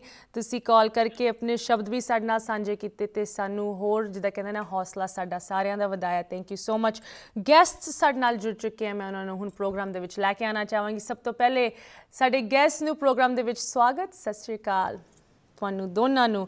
ਮੈਂ ਦੱਸਣਾ ਚਾਹੁੰਦੀ ਹਾਂ ਸਾਨੂੰ ਜੁਆਇਨ ਕਰਿਆ ਅੱਜ ਸ਼ਾਮ ਦੇ ਪ੍ਰੋਗਰਾਮ ਦੇ ਵਿੱਚ ਸੋਹਜਵੀਰ ਸਿੰਘ ਵਰਜੀਨੀਆ ਤੋਂ ਜੋ ਕਿ ਇੱਕ ਇੰਜੀਨੀਅਰ ਦੇ ਤੌਰ ਤੇ ਕੰਮ ਕਰ ਰਿਹਾ ਬਟ ਸੋਹਜਵੀਰ ਤੁਹਾਡੀ ਇੱਕ ਬਹੁਤ ਹੀ ਆਪਾਂ ਕਹਿ ਸਕਦੇ ਹਾਂ ਵੈਲ ਸਪੋਕਨ ਵੀਡੀਓ ਸਾਡੇ ਕੋਲ ਪਹੁੰਚੀ ਵਾਸ਼ਿੰਗਟਨ ਡੀਸੀ ਦੀ ਜੋ ਫਰਾਈਡੇ ਹੋਈ ਪ੍ਰੋਟੈਸਟ ਉਹਦੇ ਵਿੱਚ ਜਿੱਥੇ ਤੁਸੀਂ ਖੜ ਕੇ ਇੰਨੇ ਸਾਰੇ ਲੋਕੀ ਤੁਹਾਡੇ ਆਲੇ ਦੁਆਲੇ ਖੜੇ ਆ ਤੁਸੀਂ ਦੱਸ ਰਹੇ ਹੋ ਸਿੰਪਲ ਸ਼ਬਦਾਂ ਵਿੱਚ ਕਿ ਇਹ ਬਿੱਲਾਂ ਦੇ ਵਿੱਚ ਅਖੀਰ ਚ ਲਿਖਿਆ ਕੀ ਹੈ? ਤੇ ਸਾਨੂੰ ਆਲਸੋ ਜੁਆਇਨ ਕਰ ਰਹੇ ਮਨਸਿਮਰਨ ਸਿੰਘ ਕਾਲੋਂ ਜੀ ਜੋ ਕਿ director of soil and water conservation Virginia ਦੇ ਵਿੱਚ ਕੰਮ ਕਰਦੇ ਆ। ਤੁਹਾਨੂੰ ਯੂਨੀਕਲੀ ਤੁਹਾਡੀ ਪੋਜੀਸ਼ਨ ਇਸ ਗੱਲ ਤੇ ਡਿਸਕਸ ਕਰਨ ਲਈ ਬਣਾ ਦਿੰਦੀ ਹੈ। ਬਟ ਮਨਸਿਮਰਨ, ਤੁਸੀਂ ਪਹਿਲੇ ਵੀ ਸਾਡੇ ਨਾਲ ਜੁੜੇ ਹੋ। ਤੁਸੀਂ ਇੱਕ ਅਮਰੀਕਨ ਇਤਿਹਾਸ ਤੌਰ ਤੇ, ਇਤਿਹਾਸਿਕ ਤੌਰ ਤੇ ਸਾਨੂੰ ਦੱਸ ਸਕਦੇ ਹੋ ਕੀ ਪੈਰਲਲਸ ਹਨ ਇਸ ਮੋਰਚੇ ਦੇ ਵਿੱਚ, ਇਸ ਮੂਵਮੈਂਟ ਦੇ ਵਿੱਚ ਜੋ ਕਿਸਾਨੀ ਨੂੰ ਭਾਰਤ ਦੇ ਵਿੱਚ ਲੈ ਕੇ ਖੜੀ ਹੋਈ ਹੈ ਐਂਡ ਦ ਯੂਨਾਈਟਿਡ ਸਟੇਟਸ ਜਿੱਥੇ ਇਹ ਸਿਮਿਲਰ ਚੀਜ਼ ਆਪਾਂ ਕਹਿ ਸਕਦੇ ਹਾਂ ਪਿਛਲੇ 50 ਸਾਲਾਂ ਦੇ ਵਿੱਚ ਆਲਰੇਡੀ ਹੋ ਚੁੱਕੀ ਹੈ। ਸੋ ਉਹਦੇ ਬਾਰੇ ਵੀ ਗੱਲ ਕਰਾਂਗੇ। ਵਾਂਸ ਅਗੇਨ ਤੁਹਾਨੂੰ ਦੋਨਾਂ ਨੂੰ ਸਵਾਗਤ। ਸੋਜਵੀਰ ਮੈਂ ਤੁਹਾਡੇ ਨਾਲ ਸ਼ੁਰੂ ਕਰਨਾ ਚਾਹਾਂਗੀ ਬਿਕਾਜ਼ ਜੋ ਤੁਹਾਡੀ ਵੀਡੀਓ ਵਾਸ਼ਿੰਗਟਨ ਡੀਸੀ ਦੀ ਪ੍ਰੋਟੈਸਟ ਤੋਂ ਨਿਕਲੀ ਸਾਡੇ ਕੋਲ ਪਹੁੰਚੀ ਫਰਾਈਡੇ ਨੂੰ, ਉਹਦੇ ਵਿੱਚ ਤੁਸੀਂ ਇਨ ਬਿੱਲਾਂ ਨੂੰ ਯੂ نو ਸਭ ਤੋਂ ਪਹਿਲੇ ਬਿਫੋਰ ਵੀ ਇਵਨ ਗੈਟ ਕਿ ਇਹਨਾਂ ਦੇ ਵਿੱਚ ਲਿਖਿਆ ਕੀ ਹੈ, ਕੀ ਹੱਕ ਇਹ ਮਾਰਦੇ ਹੈ, ਕੀ ਹੱਕ ਇਹ ਦਿੰਦੇ ਹੈ, ਸਭ ਤੋਂ ਪਹਿਲੇ ਤਾਂ ਇਨ ਬਿੱਲਾਂ ਦਾ ਜੋ ਨਾਮ ਫਾਰਮ ਬਿੱਲ ਕਿਹਾ ਗਿਆ, ਇਹੀ ਗਲਤ ਹੈ। ਤੁਸੀਂ ਇਹਦੇ ਨਾਲ ਸ਼ੁਰੂ ਕਰੋ, ਸੋਜਵੀਰ। ਬਿਲਕੁਲ ਜੀ ਇਹਦੇ ਵਿੱਚ ਕੋਈ ਸ਼ੱਕ ਨਹੀਂ ਹੈ ਕਿ ਇਹ ਜਿਹੜੇ ਬਿੱਲ ਹੈ, ਇਹਨਾਂ ਦਾ ਜਿਹੜਾ ਨਾਮ ਹੈ, ਇਹ ਇੱਕ ਸਿੱਧਾ ਸਿੱਧਾ ਲੋਕਾਂ ਨੂੰ ਧੋਖੇ 'ਚ ਜਾਂ ਭੁਲੇਖੇ 'ਚ ਰੱਖਣ ਵਾਸਤੇ ਰੱਖਿਆ ਗਿਆ ਜਿਵੇਂ ਬਿੱਲਾਂ ਦਾ ਨਾਮ ਤਾਂ ਰੱਖਿਆ ਗਿਆ ਬਈ farmers protection a trade act ਇਹ ਹੈਗੇ ਟ੍ਰੇਡਰਸ ਦੇ ਐਕਟ ਨੇ। ਤੇ ਇਹ ਸਿਰਫ ਔਰ ਸਿਰਫ ਬਿੱਲ ਟ੍ਰੇਡਰਸ ਨੂੰ ਬਚਾਉਣ ਵਾਸਤੇ ਬਣਾਏ ਗਏ ਆ ਇਹ ਫਾਰਮਰਸ ਨੂੰ ਬਚਾਉਣ ਵਾਸਤੇ ਨਹੀਂ ਬਣਾਏ ਗਏ ਆ ਇਹਦੇ ਵਿੱਚ। ਤੇ ਜੇ ਆਪਾਂ ਜੇ ਥੋੜਾ ਜਿਹਾ ਮੈਨੂੰ ਇਜਾਜ਼ਤ ਦੋਗੇ ਆਪਾਂ ਜੇ ਬਰੀਕੀ ਦੇ ਵਿੱਚ ਜਾਈਏ ਇਹਦੇ ਵਿੱਚ ਜੀ ਪਲੀਜ਼ ਇਨ, ਇਹਨਾਂ ਦੇ ਵਿੱਚ ਇੱਕ ਬਹੁਤ ਵੱਡਾ ਪੁਆਇੰਟ ਜਿਹੜਾ ਅੱਜ ਕੱਲ ਸਾਹਮਣੇ ਆ ਰਿਹਾ, ਉਹ ਕਹਿੰਦੇ ਆ ਕਿ ਇਹ ਜੀ ਵਿਚੋਲਾ ਖਤਮ ਕਰ ਦੇਣਾ ਅਸੀਂ। ਉਹ ਉਹ ਕਹਿੰਦੇ ਨੇ ਕਿ ਅਸੀਂ ਜਿਹੜਾ ਵਿਚੋਲਾ ਹੈ, ਉਹ ਮਿਡਲਮੈਨ ਉਹਨੂੰ ਆੜਤੀ ਨੂੰ ਵਿਚੋਲਾ ਕਹਿ ਰਹੇ ਆ ਇਹ ਉਹ ਖਤਮ ਕਰਨ ਦੀ ਗੱਲ ਹੋ ਰਹੀ ਹੈ ਵੀ ਅਸੀਂ ਵਿਚੋਲਾ ਕੱਢ ਦੇਣਾ ਤੇ ਅਸੀਂ ਸਿੱਧਾ ਕਨੈਕਟ ਕਰ ਦੇਣਾ ਫਾਰਮਰ ਨੂੰ ਜਿੱਥੇ ਉਹਨੇ ਵੇਚਣੀ ਹੈ। ਇਹ ਸਰਾਸਰ ਰੋਂਗ ਹੈ। ਇਹ ਜਿਹੜੀ ਅਜ਼ੰਪਸ਼ਨ ਹੈ ਲੋਕਾਂ ਦੀ, ਜਿਹੜਾ ਲੋਕਾਂ ਨੂੰ ਇੱਕ ਭੁਲੇਖੇ 'ਚ ਰੱਖਿਆ ਜਾ ਰਿਹਾ, ਇਹ ਬਿਲਕੁਲ ਗਲਤ ਹੈ। ਇਹਦੇ 'ਚ ਕਰ ਕੀ ਰਹੇ ਆ ਉਹ? ਆੜਤੀ ਇਹਨੂੰ ਕੱਢ ਰਹੇ ਨੇ ਪਰ ਚਾਰ ਨਵੇਂ ਬੰਦੇ ਲੈ ਕੇ ਆ ਰਹੇ ਨੇ ਜਾਂ ਚਾਰ ਨਵੀਆਂ ਆਰਗੇਨਾਈਜੇਸ਼ਨਸ ਲੈ ਕੇ ਆ ਰਹੇ ਨੇ। ਇੱਕ ਐਗਰੀਗੇਟਰ ਲੈ ਕੇ ਆ ਰਹੇ ਨੇ ਇੱਕ ਥਰਡ ਪਾਰਟੀ ਲੈ ਕੇ ਆ ਰਹੇ ਨੇ ਇੱਕ ਫਾਰਮ ਸਰਵਿਸ ਪ੍ਰੋਵਾਈਡਰ ਲੈ ਕੇ ਆ ਰਹੇ ਨੇ ਇੱਕ ਫਾਰਮ ਸਰਵਿਸ ਆਰਗੇਨਾਈਜੇਸ਼ਨਸ ਲੈ ਕੇ ਆ ਰਹੇ ਨੇ। ਜਿਹੜੀਆਂ ਸਿਰਫ ਔਰ ਸਿਰਫ ਕਾਰਪੋਰੇਟ ਜਿਹੜੀ ਮਸ਼ੀਨਰੀ ਹੈ ਉਹਨੂੰ ਫੰਡ ਕਰਨਗੀਆਂ ਤੇ ਉਹਦੇ ਸਟਰਕਚਰ ਨੂੰ ਸਪੋਰਟ ਕਰਨਗੀਆਂ। ਤੇ ਇਹ ਇਸ ਇਸ ਇਸ ਕਰਕੇ ਇਹਨਾਂ ਬਿੱਲਾਂ ਦੇ ਜਿਹੜੇ ਨਾਮ ਹੈ ਤੇ ਜੋ ਇਹ ਐਕਚੁਅਲੀ ਕਰ ਰਹੇ ਨੇ ਉਹ ਬਿਲਕੁਲ ਉਲਟ ਨੇ। ਜੀ ਐਂਡ ਆਮ ਸੋ ਗਲੈਡ ਸੋਜਵੀਰ ਤੁਸੀਂ ਇਸ ਚੀਜ਼ ਨੂੰ ਸਾਡੇ ਲਈ ਕਲੈਰੀਫਾਈ ਕੀਤਾ ਬਿਕੋਜ਼ ਜਦੋਂ ਕਿਸੇ ਵੀ ਚੀਜ਼ ਦੀ ਮਾਰਕੀਟਿੰਗ ਦੀ ਗੱਲ ਆਂਦੀ ਹੈ ਜੋ ਕਿ ਭਾਵੇਂ ਉਹ ਕਾਨੂੰਨ ਹੋਏ ਜਾਂ ਕੋਈ ਚੀਜ਼ ਜੋ ਤੁਸੀਂ ਦੁਕਾਨ ਤੇ ਦੁਕਾਨ ਤੇ ਖਰੀਦਦੇ ਹੋ, ਉਹਦੀ ਮਾਰਕੀਟਿੰਗ ਹੁੰਦੀ ਹੈ ਤੇ ਇਸ ਇਨ ਬਿੱਲਾਂ ਦੀ ਮਾਰਕੀਟਿੰਗ ਹੋਈ ਹੈ ਕਿ ਇਹ ਕਿਸਾਨਾਂ ਦੇ ਹੱਕ ਲਈ ਬਣਾਏ ਗਏ ਹਨ। ਬਟ ਇਹਨਾਂ ਦੇ ਵਿੱਚ ਜੋ ਲਿਖਿਆ ਹੋਇਆ ਹੈ, ਉਹ ਐਗਜ਼ੈਕਟਲੀ ਆਪੋਜ਼ਿਟ ਕਰਦਾ ਹੈ। um ਸੋਜਵੀਰ, ਮੈਂ ਤੁਹਾਡੇ ਤੋਂ ਹੋਰ ਪੁੱਛਣਾ ਚਾਹਾਂਗੀ ਕੁਝ ਡੀਟੇਲਸ ਹਨ ਜੋ ਤੁਸੀਂ ਸਾਨੂੰ ਵਧੀਆ ਤਰੀਕੇ ਨਾਲ ਦੱਸ ਸਕਦੇ ਹੋ ਕਿ ਇਹ ਜਦੋਂ ਇਹ ਬਿਲਸ ਜਿਸ ਤਰ੍ਹਾਂ ਇੱਕ ਕਿਸਾਨ ਦੀ ਕ੍ਰੌਪ ਨੂੰ ਜਿਹਦਾ ਕਹਿੰਦੇ ਨਾ ਆਈਡੈਂਟੀਫਾਈ ਕਰਦੇ ਉਹਨੂੰ ਰੇਟ ਕਰਦੇ ਆ। ਉਹਦੇ ਵਿੱਚ ਵੀ ਇੱਕ ਚੀਜ਼ ਇਸ ਤਰ੍ਹਾਂ ਦੀ ਐਡ ਕੀਤੀ ਗਈ ਹੈ ਜੋ ਆਲਮੋਸਟ ਲਾਈਕ ਪ੍ਰੈਕਟੀਕਲ ਵੀ ਨਹੀਂ ਹੈਗੀ। ਤੁਸੀਂ ਸਾਨੂੰ ਦੂਜੀ ਵੀਡੀਓ ਵਿੱਚ ਇਹਦੇ ਬਾਰੇ ਦੱਸ ਰਹੇ ਸੀ। ਇਹ ਜੋ ਫੀਚਰ ਕੰਪੋਨੈਂਟ ਹੈ, ਉਹਦੇ ਬਾਰੇ ਪਲੀਜ਼ ਹੋਰ ਦੱਸੋ। ਬਿਲਕੁਲ ਜੀ, ਬਿਲਕੁਲ। ਮੈਂ ਥੋੜੀ ਜਿਹੀ ਇਹਦੇ ਬਾਰੇ ਬੈਕਗ੍ਰਾਉਂਡ ਵੀ ਦਊਂਗਾ ਕਿ ਇਹ ਇਹ ਕਿੱਥੋਂ ਆਈ ਹੈ ਇਹ ਗੱਲ ਸਾਰੀ। ਗੱਲ ਸਾਰੀ ਸ਼ੁਰੂ ਹੋ ਰਹੀ ਹੈ, ਉਵੇਂ ਜਿਸ ਤਰ੍ਹਾਂ ਆਪਾਂ ਗੱਲ ਕਰ ਰਹੇ ਹਾਂ, ਲੋਕਾਂ ਨੂੰ ਭੜਕਾਇਆ ਜਾ, ਆਪਾਂ ਉਲਝਾਇਆ ਜਾ ਰਿਹਾ ਹੈ ਕਿ ਐਮਐਸਪੀ ਹੈ, ਇਹ ਸਾਰੀ ਗੱਲ ਐਮਐਸਪੀ ਤੋਂ ਸਟਾਰਟ ਹੋਈ ਹੈ ਵੀ ਐਮਐਸਪੀ ਜੀ ਰਹੇਗੀ। ਇਹ ਇਹ ਕਹਿ ਰਹੀ ਹੈ ਸਰਕਾਰ, ਇਹ ਵਿਸ਼ਵਾਸ ਦਵਾ ਰਹੀ ਹੈ ਕਿ ਐਮਐਸਪੀ ਰਹੇਗੀ। ਤੇ ਉਹ ਕਹਿ ਰਹੀ ਹੈ ਵੀ ਕਿਤੇ ਨਹੀਂ ਜਾਏਗੀ ਇਹ। ਐਕਟ ਦੇ ਵਿੱਚ, ਔਰ ਇਹ ਗੱਲ ਮੈਂ ਉਦੋਂ ਵੀ ਮੈਂਸ਼ਨ ਕਰੀ ਸੀ ਰਿਟਨ ਦੇ ਵਿੱਚ ਇੱਕ ਜਗ੍ਹਾ ਨਹੀਂ ਲਿਖਿਆ ਹੋਇਆ ਕਿਤੇ ਕਿ ਐਮਐਸਪੀ ਤੋਂ ਥੱਲੇ ਜਿਹੜਾ ਟ੍ਰੇਡਰ ਹੈ, ਜਿਹੜਾ ਖਰੀਦਣ ਆ ਰਿਹਾ ਹੈ, ਉਹ ਨਹੀਂ ਲਏਗਾ। ਪੈਰਾਮੀਟਰ ਕੀ ਦਿੱਤੇ ਗਏ ਇਹਦੇ ਵਿੱਚ ਟ੍ਰੇਡਰ ਨੂੰ? ਟ੍ਰੇਡਰ ਨੂੰ ਪੈਰਾਮੀਟਰ ਦਿੱਤੇ ਗਏ ਹੈ ਲਾਅ ਦੇ ਵਿੱਚ। ਟ੍ਰੇਡਰ ਨੂੰ ਪ੍ਰੋਵੀਜ਼ਨ ਦਿੱਤੀ ਗਈ ਹੈ ਕਿ ਉਹ ਫਸਲ ਨੂੰ ਇੱਕ ਤਾਂ ਹੋ ਗਿਆ ਉਹਦਾ ਸਟੈਂਡਰਡ ਗ੍ਰੇਡ ਕੁਆਲਿਟੀ ਤੇ ਫੀਚਰ ਇਹਨਾਂ ਤੇ ਜੱਜ ਕਰੇਗਾ। ਐਮਐਸਪੀ ਤੇ ਨਹੀਂ ਜੱਜ ਕਰੇਗਾ। ਔਰ ਇਹ ਉਹਦੇ ਆਪ ਦੇ ਡਿਫਾਈਨਡ ਪੈਰਾਮੀਟਰ ਹੋਣਗੇ। ਉਹ ਦੇਖੇਗਾ ਕਿ ਕੀ ਕੁਆਲਿਟੀ ਹੈ ਉਹ ਦੇਖੇਗਾ ਕਿ ਕੀ ਗ੍ਰੇਡ ਹੈ ਉਹ ਦੇਖੇਗਾ ਕੀ ਸਟੈਂਡਰਡ ਹੈ ਤੇ ਉਹ ਦੇਖੇਗਾ ਕੀ ਫੀਚਰ ਹੈ। ਹੂੰ। ਜਿਵੇਂ ਮੈਂ ਗੱਲ ਕੀਤੀ ਸੀ ਵੀ ਫੀਚਰ ਜਿਹੜੇ ਹੁੰਦੇ ਨੇ ਉਹ ਆਪਣੇ ਜਿਹੜੇ ਹੁੰਦੇ ਨੇ ਨੈਣ ਨਕਸ਼ ਹੁੰਦੇ ਨੇ। ਇੱਕ ਇਨਸਾਨ ਦੇ ਜਿਹੜੇ ਫੀਚਰ ਹੁੰਦੇ ਆ ਕੋਈ ਵੀ ਫੀਚਰ ਲਾ ਲਓ ਇਹਦੀ ਡੈਫੀਨੇਸ਼ਨ ਇਹ ਹੈ ਲੀਗਲ ਡੈਫੀਨੇਸ਼ਨ ਹੈ ਜਿਹੜੀ। ਫਸਲ ਦਾ ਕਦੇ ਵੀ ਕੋਈ ਫੀਚਰ ਨਹੀਂ ਹੋ ਸਕਦਾ ਫਸਲ ਦਾ ਜਿਹੜਾ ਦਾਣਾ ਹੈ ਉਹ ਇੱਕ ਦਾਣਾ ਹੀ ਦੂਜੇ ਦਾਣੇ ਤੋਂ ਡਿਫਰੈਂਟ ਹੁੰਦਾ ਹੈ। ਤੇ ਜੇ ਕਿਸਾਨ ਉਹਨਾਂ ਕੋਲ ਵੇਚਣ ਜਾਏਗਾ ਉਹ ਸਿੱਧਾ ਕਹਿ ਸਕਦੇ ਨੇ ਇਹਦੇ ਤਾਂ ਫੀਚਰ ਨਹੀਂ ਠੀਕ। ਮਤਲਬ ਇਹ ਇੱਕ ਕਿਸਮ ਦਾ ਆਪਾਂ ਕਹਿ ਸਕਦੇ ਹਾਂ ਜੋ ਖਰੀਦਦਾਰ ਜੋ ਕਾਰਪੋਰੇਟ ਜਾਂ ਟਰੇਡਰਸ ਨੂੰ ਇਸ ਸਿਚੁਏਸ਼ਨ ਦੇ ਵਿੱਚ ਇਨਵੋਲਵ ਕੀਤਾ ਜਾ ਰਿਹਾ ਹੈ ਉਹਨਾਂ ਨੂੰ ਇੱਕ ਹੋਰ ਲੂਪ ਹੋਲ ਦਿੱਤਾ ਗਿਆ ਗਵਰਨਮੈਂਟ ਨੇ ਇੱਕ ਬਹਾਨਾ ਦਿੱਤਾ ਇੱਕ ਤਰ੍ਹਾਂ ਦਾ ਕਿ ਅਗਰ ਤੁਹਾਨੂੰ ਇਸ ਚੀਜ਼ ਲਈ ਕਮ ਪੈਸਿਆਂ 'ਚ ਇਸ ਫਸਲ ਨੂੰ ਲੈਣਾ ਹੈ ਤੁਸੀਂ ਕੁਝ ਵੀ ਕਹਿ ਸਕਦੇ ਹੋ ਕਿ ਇਹਦਾ ਤਾਂ ਰੰਗ ਹੀ ਨਹੀਂ ਠੀਕ। ਐਂਡ ਉਹ ਤੁਹਾਡੇ ਆਪਣੇ ਡਿਪੈਂਡ ਕਰਦਾ ਹੈ। ਮਤਲਬ ਉਹਦਾ ਕੋਈ ਕ੍ਰਾਈਟੇਰੀਆ ਕਾਨੂੰਨ ਦੇ ਮੁਤਾਬਿਕ ਨਹੀਂ ਸੈੱਟ ਹੋਇਆ ਹੋਇਆ ਕੋਈ ਉਹਦਾ ਮਤਲਬ ਜਿਹਦਾ ਕਹਿੰਦੇ ਕੋਈ ਲਾਈਨ ਨਹੀਂ ਡਿਫਾਈਨ ਕੀਤੀ ਕਿ ਇੱਥੇ ਤੱਕ ਤੁਸੀਂ ਜਾ ਸਕਦੇ, ਇੱਥੋਂ ਥੱਲੇ ਨਹੀਂ ਜਾ ਸਕਦੇ। ਬਿਲਕੁਲ ਜੀ, ਬਿਲਕੁਲ। ਇਹਦੇ ਵਿੱਚ ਤੁਸੀਂ ਐ ਲਾ ਲਓ ਕਿ ਖੁੱਲੀ ਛੂਟ ਦੇਤੀ ਜਿਹੜਾ ਕਾਰਪੋਰੇਟ ਹੈ, ਉਹਨੂੰ, ਉਹਦੇ ਜਿਹੜੇ ਵੀ ਲੂਪ ਹੋਲ ਸੀਗੇ, ਉਹਦੀਆਂ ਜਿਹੜੀਆਂ ਵੀ ਬੰਦਸ਼ਾਂ ਸੀਗੀਆਂ, ਉਹ ਖੋਲ ਦਿੱਤੀਆਂ ਗਈਆਂ। ਤੇ ਜੇ ਮੈਂ ਥੋੜਾ ਜਿਹਾ ਹੋਰ ਇਹਦੇ ਡੀਟੇਲ ਦੇ ਵਿੱਚ ਜਾਵਾਂ ਤੇ ਇਹਦੇ ਵਿੱਚ ਸਕੋਪ ਕੀ ਉਹਨਾਂ ਨੇ ਕਰਤਾ ਇਹਦਾ? ਸਕੋਪ ਦਾ ਮਤਲਬ ਹੈ ਕਿ ਆਪਾਂ ਕਹਿ ਰਹੇ ਹਾਂ ਫਸਲ। ਆਪਾਂ ਬੇਸਿਕ ਗੱਲ ਕਰ ਰਹੇ ਹਾਂ ਇੱਕ ਫਸਲ ਦੀ। ਪਰ ਇਹਦਾ ਜਿਹੜਾ ਸਮਝਣ ਦੀ ਆਪਾਂ ਨੂੰ ਲੋੜ ਹੈ, ਇਹ ਫਸਲ ਦੇ ਪਿੱਛੇ ਨਹੀਂ ਆ ਰਹੇ। ਇਹ ਪੂਰਾ ਚਾਰ ਚਫੇਰੇ ਘੇਰਾ ਪਾ ਰਹੇ ਨੇ। ਇਹਦੇ ਵਿੱਚ ਉਹਨਾਂ ਨੇ ਪਲਸਸ ਗ੍ਰੇਨਸ ਸੀਰੀਅਲਸ ਇਹ ਤਾਂ ਹੋ ਗਏ ਆਪਣੇ ਇੱਕ ਐਗਰੀਕਲਚਰ ਦੇ ਉਹਨੂੰ ਰਿਲੇਟਡ ਗੋਟਰੀ ਫਿਸ਼ਰੀ ਉਸ ਤੋਂ ਬਾਅਦ ਪੋਲਟਰੀ ਪਿਗਰੀ ਕਾਟਨ ਦੀ ਜਿਹੜੀ ਨਾਰਮਲ ਜਿਹੜੀ ਕਪਾਹ ਹੁੰਦੀ ਹੈ ਆਪਣੀ ਠੀਕ ਹੈ ਉਹ ਇਨਕਲੂਡਡ ਹੈ ਇਹਦੇ ਵਿੱਚ। ਇਨਫੈਕਟ ਇਹਦੇ ਵਿੱਚ ਉਹਨਾਂ ਨੇ ਕੈਟਲ ਫਾਡਰ ਵੀ ਲਿਖਤਾ। ਕੈਟਲ ਫਾਡਰ ਹੈ ਮੱਝਾਂ ਦਾ ਚਾਰਾ। ਉਹ ਵੀ ਉਹ ਡਿਸਾਈਡ ਕਰ ਸਕਦੇ ਨੇ ਵੀ ਉਹ ਕਿਸ ਤਰ੍ਹਾਂ ਹੋਏਗਾ। ਬੇਸਿਕਲੀ ਜੋ ਵੀ ਐਗਰੀਕਲਚਰ ਦੇ ਨਾਲ ਰਿਲੇਟਡ ਇੰਡਸਟਰੀ ਹੈ ਆਪਣਾ ਧਿਆਨ ਹੈਗਾ ਫਸਲਾਂ ਤੇ। ਇਸ ਟਾਈਮ ਆਪਾਂ ਉਹਦੀ ਗੱਲ ਕਰ ਰਹੇ ਹਾਂ ਜੋ ਕਿ ਬਹੁਤ ਅਹਿਮ ਹੈ। ਇਹ ਇੱਕ ਬਹੁਤ ਵੱਡਾ ਚਾਰਜ ਫੇਰਿਓ ਐਗਰੀਕਲਚਰ ਨੂੰ ਘੇਰਾ ਪੈ ਰਿਹਾ ਇਸ ਲਾਅ ਦੇ ਵਿੱਚ। ਜਿਹਦੇ ਵਿੱਚ ਉਹ ਸਾਰੀਆਂ ਚੀਜ਼ਾਂ ਇਨਕਲੂਡ ਕਰਕੇ ਆ ਰਹੇ ਨੇ। ਉਹਦੇ ਤੇ ਲਾਅ ਬਣਾਇਆ ਹੈ। ਸੋਜਵੀਰ um, ਤੁਹਾਡੀ ਤੁਸੀਂ ਆਫ ਕੋਰਸ ਵਰਜੀਨੀਆ ਤੋਂ ਸਾਨੂੰ ਜੁਆਇਨ ਕਰ ਰਹੇ ਹੋ ਬਟ ਤੁਹਾਡੀ ਇਹ ਜੋ ਜਾਣਕਾਰੀ ਹੈ, ਜਿਸ ਤਰ੍ਹਾਂ ਤੁਸੀਂ ਇਨੀ ਬਰੀਕੀ ਨਾਲ ਸਾਨੂੰ ਇਹ ਚੀਜ਼ਾਂ ਦੱਸ ਪਾ ਰਹੇ ਹੋ, ਇਹਦਾ ਕਾਰਨ ਤੁਹਾਡਾ, ਤੁਹਾਡੇ ਪਰਿਵਾਰ ਦੇ ਮੈਂਬਰਸ ਕੁਝ ਦਿੱਲੀ ਪਹੁੰਚੇ ਔਨ ਦਾ ਗਰਾਊਂਡ ਇਸ ਲੜਾਈ ਵਿੱਚ ਉਹ ਆਪਣਾ ਹਿੱਸਾ ਪਾ ਰਹੇ ਹਨ। ਸਾਡੇ ਵਿਊਅਰਸ ਲਈ ਪਲੀਜ਼ ਦੱਸੋ ਕਿ ਕੌਣ ਤੁਹਾਡੇ ਵੱਲੋਂ ਦਿੱਲੀ ਇਸ ਵੇਲੇ um, ਇਸ ਮੁੱਦੇ ਦੀ ਹਕੂਮਤ ਲਈ ਪਹੁੰਚਿਆ ਹੋਇਆ ਹੈ।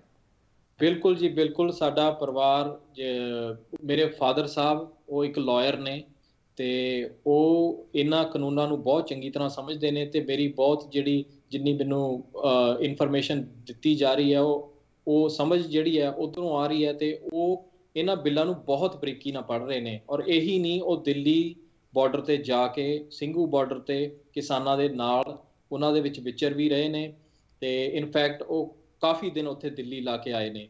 ਸੋ ਜਿਹੜੀਆਂ ਲੀਗਲ ਟਰਮਸ ਦੀ ਤੁਸੀਂ ਗੱਲ ਕੀਤੀ ਹੈ ਤੇ ਇਹ ਪਰਿਵਾਰ ਦੇ ਵਿੱਚ ਅਸੀਂ ਡਿਸਕਸ ਕਰਦੇ ਹਾਂ ਐਜ਼ ਕਿ ਇਹਨਾਂ ਬਿੱਲਾਂ ਦੇ ਵਿੱਚ ਕੀ ਲਿਖਿਆ ਹੋਇਆ ਹੈ ਇਹਨਾਂ ਦੇ ਵਿੱਚ ਕੀ ਹੋਣਾ ਚਾਹੀਦਾ ਤੇ ਉਹ ਇਸ ਟਾਈਮ ਉੱਥੇ ਦਿੱਲੀ ਨੇ। ਜੀ ਜੀ ਜੀ। ਮਨਸਿਮਰਨ ਮੈਂ ਤੁਹਾਡੇ ਨਾਲ ਵੀ ਗੱਲ ਕਰਨਾ ਚਾਹੁੰਦੀ ਕੁਝ ਕਾਲਰ ਸਾਡੇ ਨਾਲ ਜੁੜ ਚੁੱਕੇ ਹੈ। ਸਤਿ ਸ਼੍ਰੀ ਅਕਾਲ ਤੁਸੀਂ ਔਨ 에ਅਰ ਹੋ?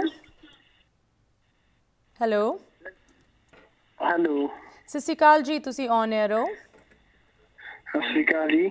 ਕੌਣ ਬੋਲ ਰਹੇ ਹੋ? ਕਿੱਥੋਂ ਬੋਲ ਰਹੇ ਹੋ? ਮੈਂ ਸਾਹਿਲਪ੍ਰੀਤ ਸਿੰਘ ਬੋਲ ਰਹੀ ਇੰਟਰਨੈਸ਼ਨਲ ਸਟੂਡੈਂਟ ਮੈਂ ਪ੍ਰਿੰਸ ਜਾਰਜ ਬੀਸੀ ਕੈਨੇਡਾ ਤੋਂ ਬੋਲ ਰਹੀ ਜੀ। ਦੱਸੋ ਤੁਹਾਡੇ ਕੀ ਵਿਚਾਰ ਹਨ? ਹਾਂਜੀ ਵਿਚਾਰ ਤਾਂ ਇਹ ਦੱਸਣੇ ਸੀਗੇ ਕਿ ਸਾਡੇ ਵੀ ਇੱਥੇ ਪੂਰਾ ਪ੍ਰੋਟੈਸਟ ਅਸੀਂ ਕਰ ਰਹੇ ਹਾਂ ਫਾਰਮਰਸ ਦਾ ਕਿ ਸਾਨੂੰ ਵੱਧ ਤੋਂ ਵੱਧ ਸਪੋਰਟ ਕਰਨੀ ਚਾਹੀਦੀ ਏ। ਜੀ। ਤੇ ਇੰਡੀਆ ਵੀ ਸਾਡੀ ਫੈਮਿਲੀ ਵੀ ਸਾਰੇ ਸਪੋਰਟ ਕਰ ਰਹੇ ਨੇ ਕਿ ਆਪਾਂ ਸਾਰੇ ਨਾਲ ਮਿਲ ਕੇ ਕਿ ਅੱਗੇ ਆਈਏ ਤੇ ਹੁਣ ਆਪਣੀ ਫਾਰਮਰ ਨੂੰ ਸਪੋਰਟ ਕਰੀਏ।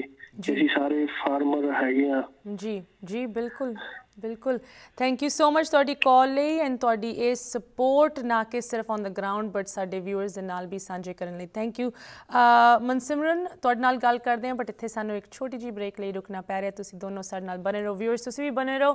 ਗੱਲ ਇਸ ਤਰ੍ਹਾਂ ਜਾਰੀ ਰਹੇਗੀ। ਬ੍ਰੇਕ ਤੋਂ ਉਸ ਪਾਰ।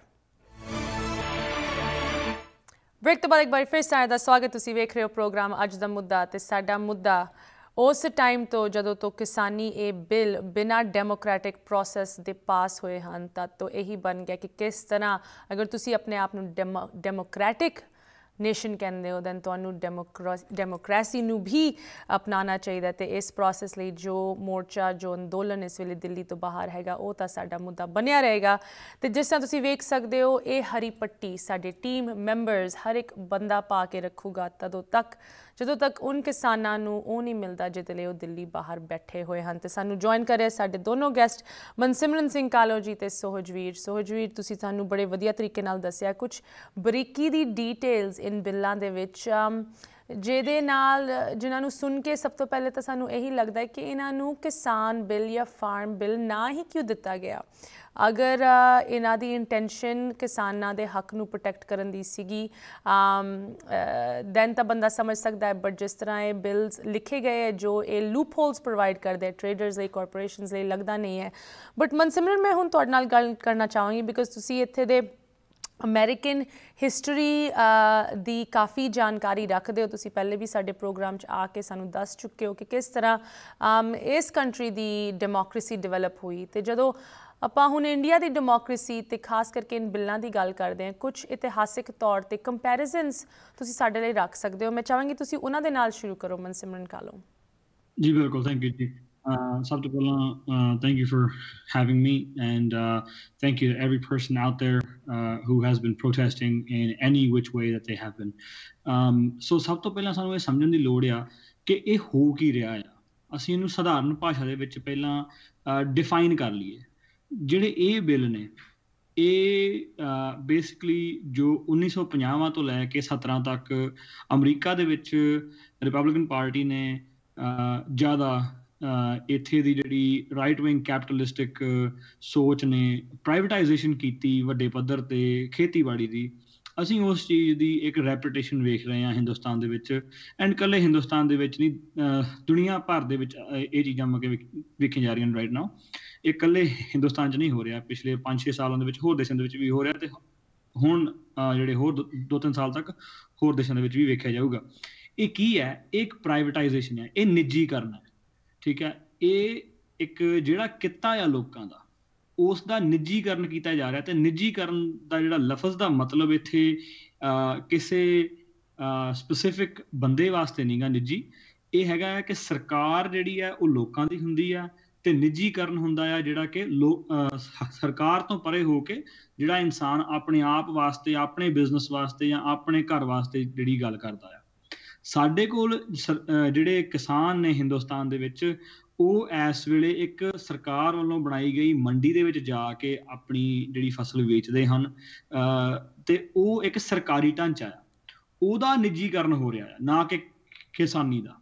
ਕਿਸਾਨੀ ਦਾ ਨਿੱਜੀਕਰਨ ਹੋ ਰਿਹਾ ਇਹ ਉਹ ਚਾਹੁੰਦੇ ਨੇ ਕਿ ਅਸੀਂ ਸੋਚੀਏ। ਉਹ ਚਾਹੁੰਦੇ ਨੇ ਕਿ ਅਸੀਂ ਇਹ ਸੋਚੀਏ ਕਿ ਕਿਸਾਨ ਨੂੰ ਫ੍ਰੀडम ਮਿਲ ਰਹੀ ਹੈ ਕਿਸਾਨ ਨੂੰ ਫ੍ਰੀडम ਨਹੀਂ ਮਿਲ ਰਹੀ ਹੈਗੀ।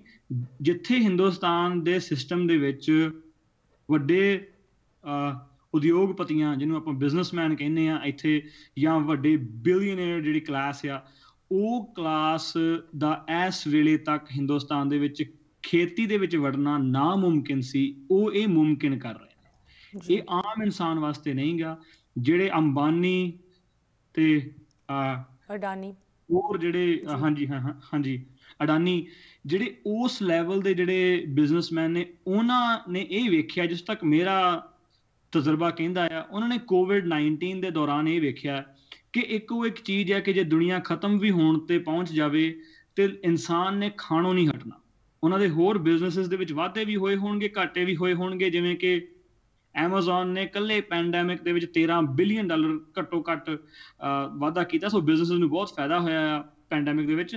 ਲੇਕਿਨ ਉਹਨਾਂ ਨੂੰ ਇਹ ਨਜ਼ਰ ਆਇਆ ਕਿਤੇ ਨਾ ਕਿਤੇ ਕਿ ਖੇਤੀਬਾੜੀ ਦੇ ਵਿੱਚ ਜਿੱਥੇ ਹੋਰ ਦੇਸ਼ਾਂ ਦੇ ਵਿੱਚ ਕੰਪਨੀਆਂ ਹੈਗੀਆਂ ਨੇ ਅਮਰੀਕਾ ਵਾਂਗੂ ਉਦਾਂ ਹਿੰਦੁਸਤਾਨ ਦੇ ਵਿੱਚ ਕੰਪਨੀਆਂ ਖੇਤੀਬਾੜੀ ਦੇ ਵਿੱਚ ਨਹੀਂ ਹੈਗੀਆਂ।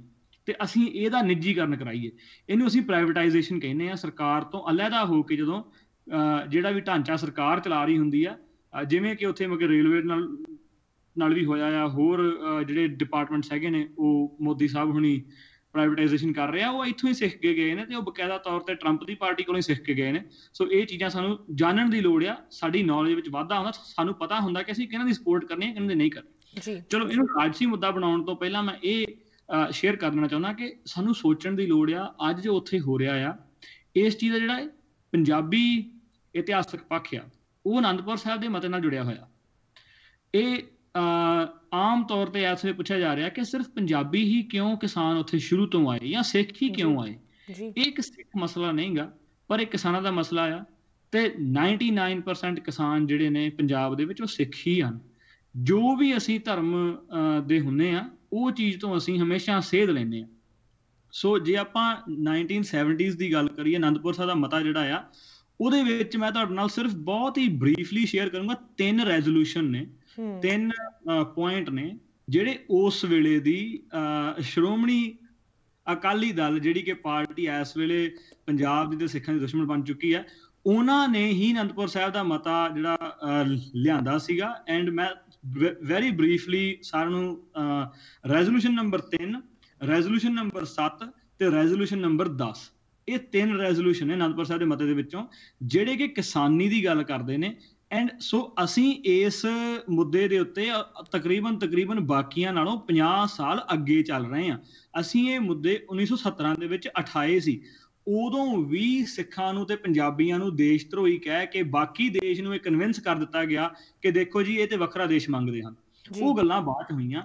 ਅੱਜ ਵੀ ਇਹੀ ਗੱਲਾਂ ਹੋ ਰਹੀਆਂ ਨੇ ਕਿ ਪੰਜਾਬੀ ਤੇ ਸਿੱਖ ਜਿਹੜੇ ਨੇ ਉਹ ਉਹ ਇੱਕ ਸੈਪਰੇਟਿਸਟ ਮੂਵਮੈਂਟ ਚੱਲ ਰਹੀ ਹੈ ਰਾਈਟ ਨਾਓ ਦੇਖੋ ਅੱਜ ਹੋ ਸਕਦੀ ਹੈ ਸੈਪਰੇਟਿਸਟ ਮੂਵਮੈਂਟ ਐਂਡ ਲੋਕਾਂ ਨੂੰ ਹੱਕ ਵੀ ਹੈਗਾ ਮੰਗਣ ਦਾ।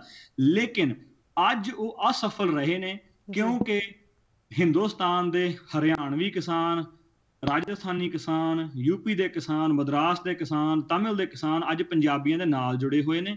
ਤੇ ਉਹ ਕਹਿ ਰਹੇ ਨੇ ਕਿ ਦੇਖੋ ਜੀ ਜੇ ਹੱਕ ਮੰਗਣਾ ਵੱਖਵਾਦੀ ਆ ਤੇ ਅਸੀਂ ਵੀ ਵੱਖਵਾਦੀ ਰਾਈਟ ਮੈਂ ਉਹ ਜਿਹੜੇ ਮਤੇ ਨੇ ਉਹ ਤੁਹਾਨੂੰ ਵੈਰੀ ਬਰੀਫਲੀ ਦੱਸ ਦਵਾਂ ਵੀ ਉਹ ਕੀ ਸੀਗੇ।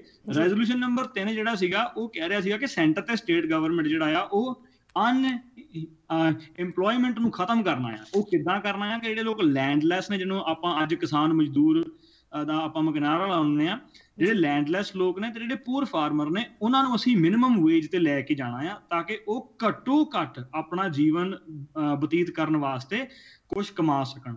ਨੰਬਰ ਜਿਹੜਾ 7 ਰੈਜ਼ੋਲੂਸ਼ਨ ਆ ਉਹ 'ਚ ਲਿਖਿਆ ਸੀਗਾ ਕਿ ਜਿਹੜੀ ਮਕੈਨਿਕਾਈਜੇਸ਼ਨ ਜਿਹੜੀ ਹੋ ਰਹੀ ਆ ਫਾਰਮਿੰਗ ਦੀ ਉਹ ਫਾਰਮ ਯੀਲਡ ਤੇ ਵੱਧ ਗਿਆ ਆ ਕਿਉਂਕਿ ਅਸੀਂ ਮਸ਼ੀਨਾਂ ਵਰਤ ਰਹੇ ਹਾਂ ਕੰਬਾਈਨਾਂ ਵਰਤ ਰਹੇ ਹਾਂ ਰੀਪਰ ਵਰਤ ਰਹੇ ਹਾਂ ਰਾਈਟ ਪਰ ਕਿਉਂ ਹਰ ਕਿੱਲੇ ਦਾ ਜਾਂ ਹੈਕਟੇਅਰ ਦਾ ਜਿਹੜਾ ਜਿਹੜਾ ਯੀਲਡ ਆ ਜਿਹੜਾ ਉਹਦਾ ਮੁਨਾ ਜਿਹੜਾ ਉਹਦਾ ਕ੍ਰੌਪ ਦਾ ਜਿਹੜਾ ਯੀਲਡ ਆ ਉਹ ਤੇ ਵੱਧ ਗਿਆ ਆ ਪਰ ਪ੍ਰਾਈਸ ਨਹੀਂ ਵਧੀ।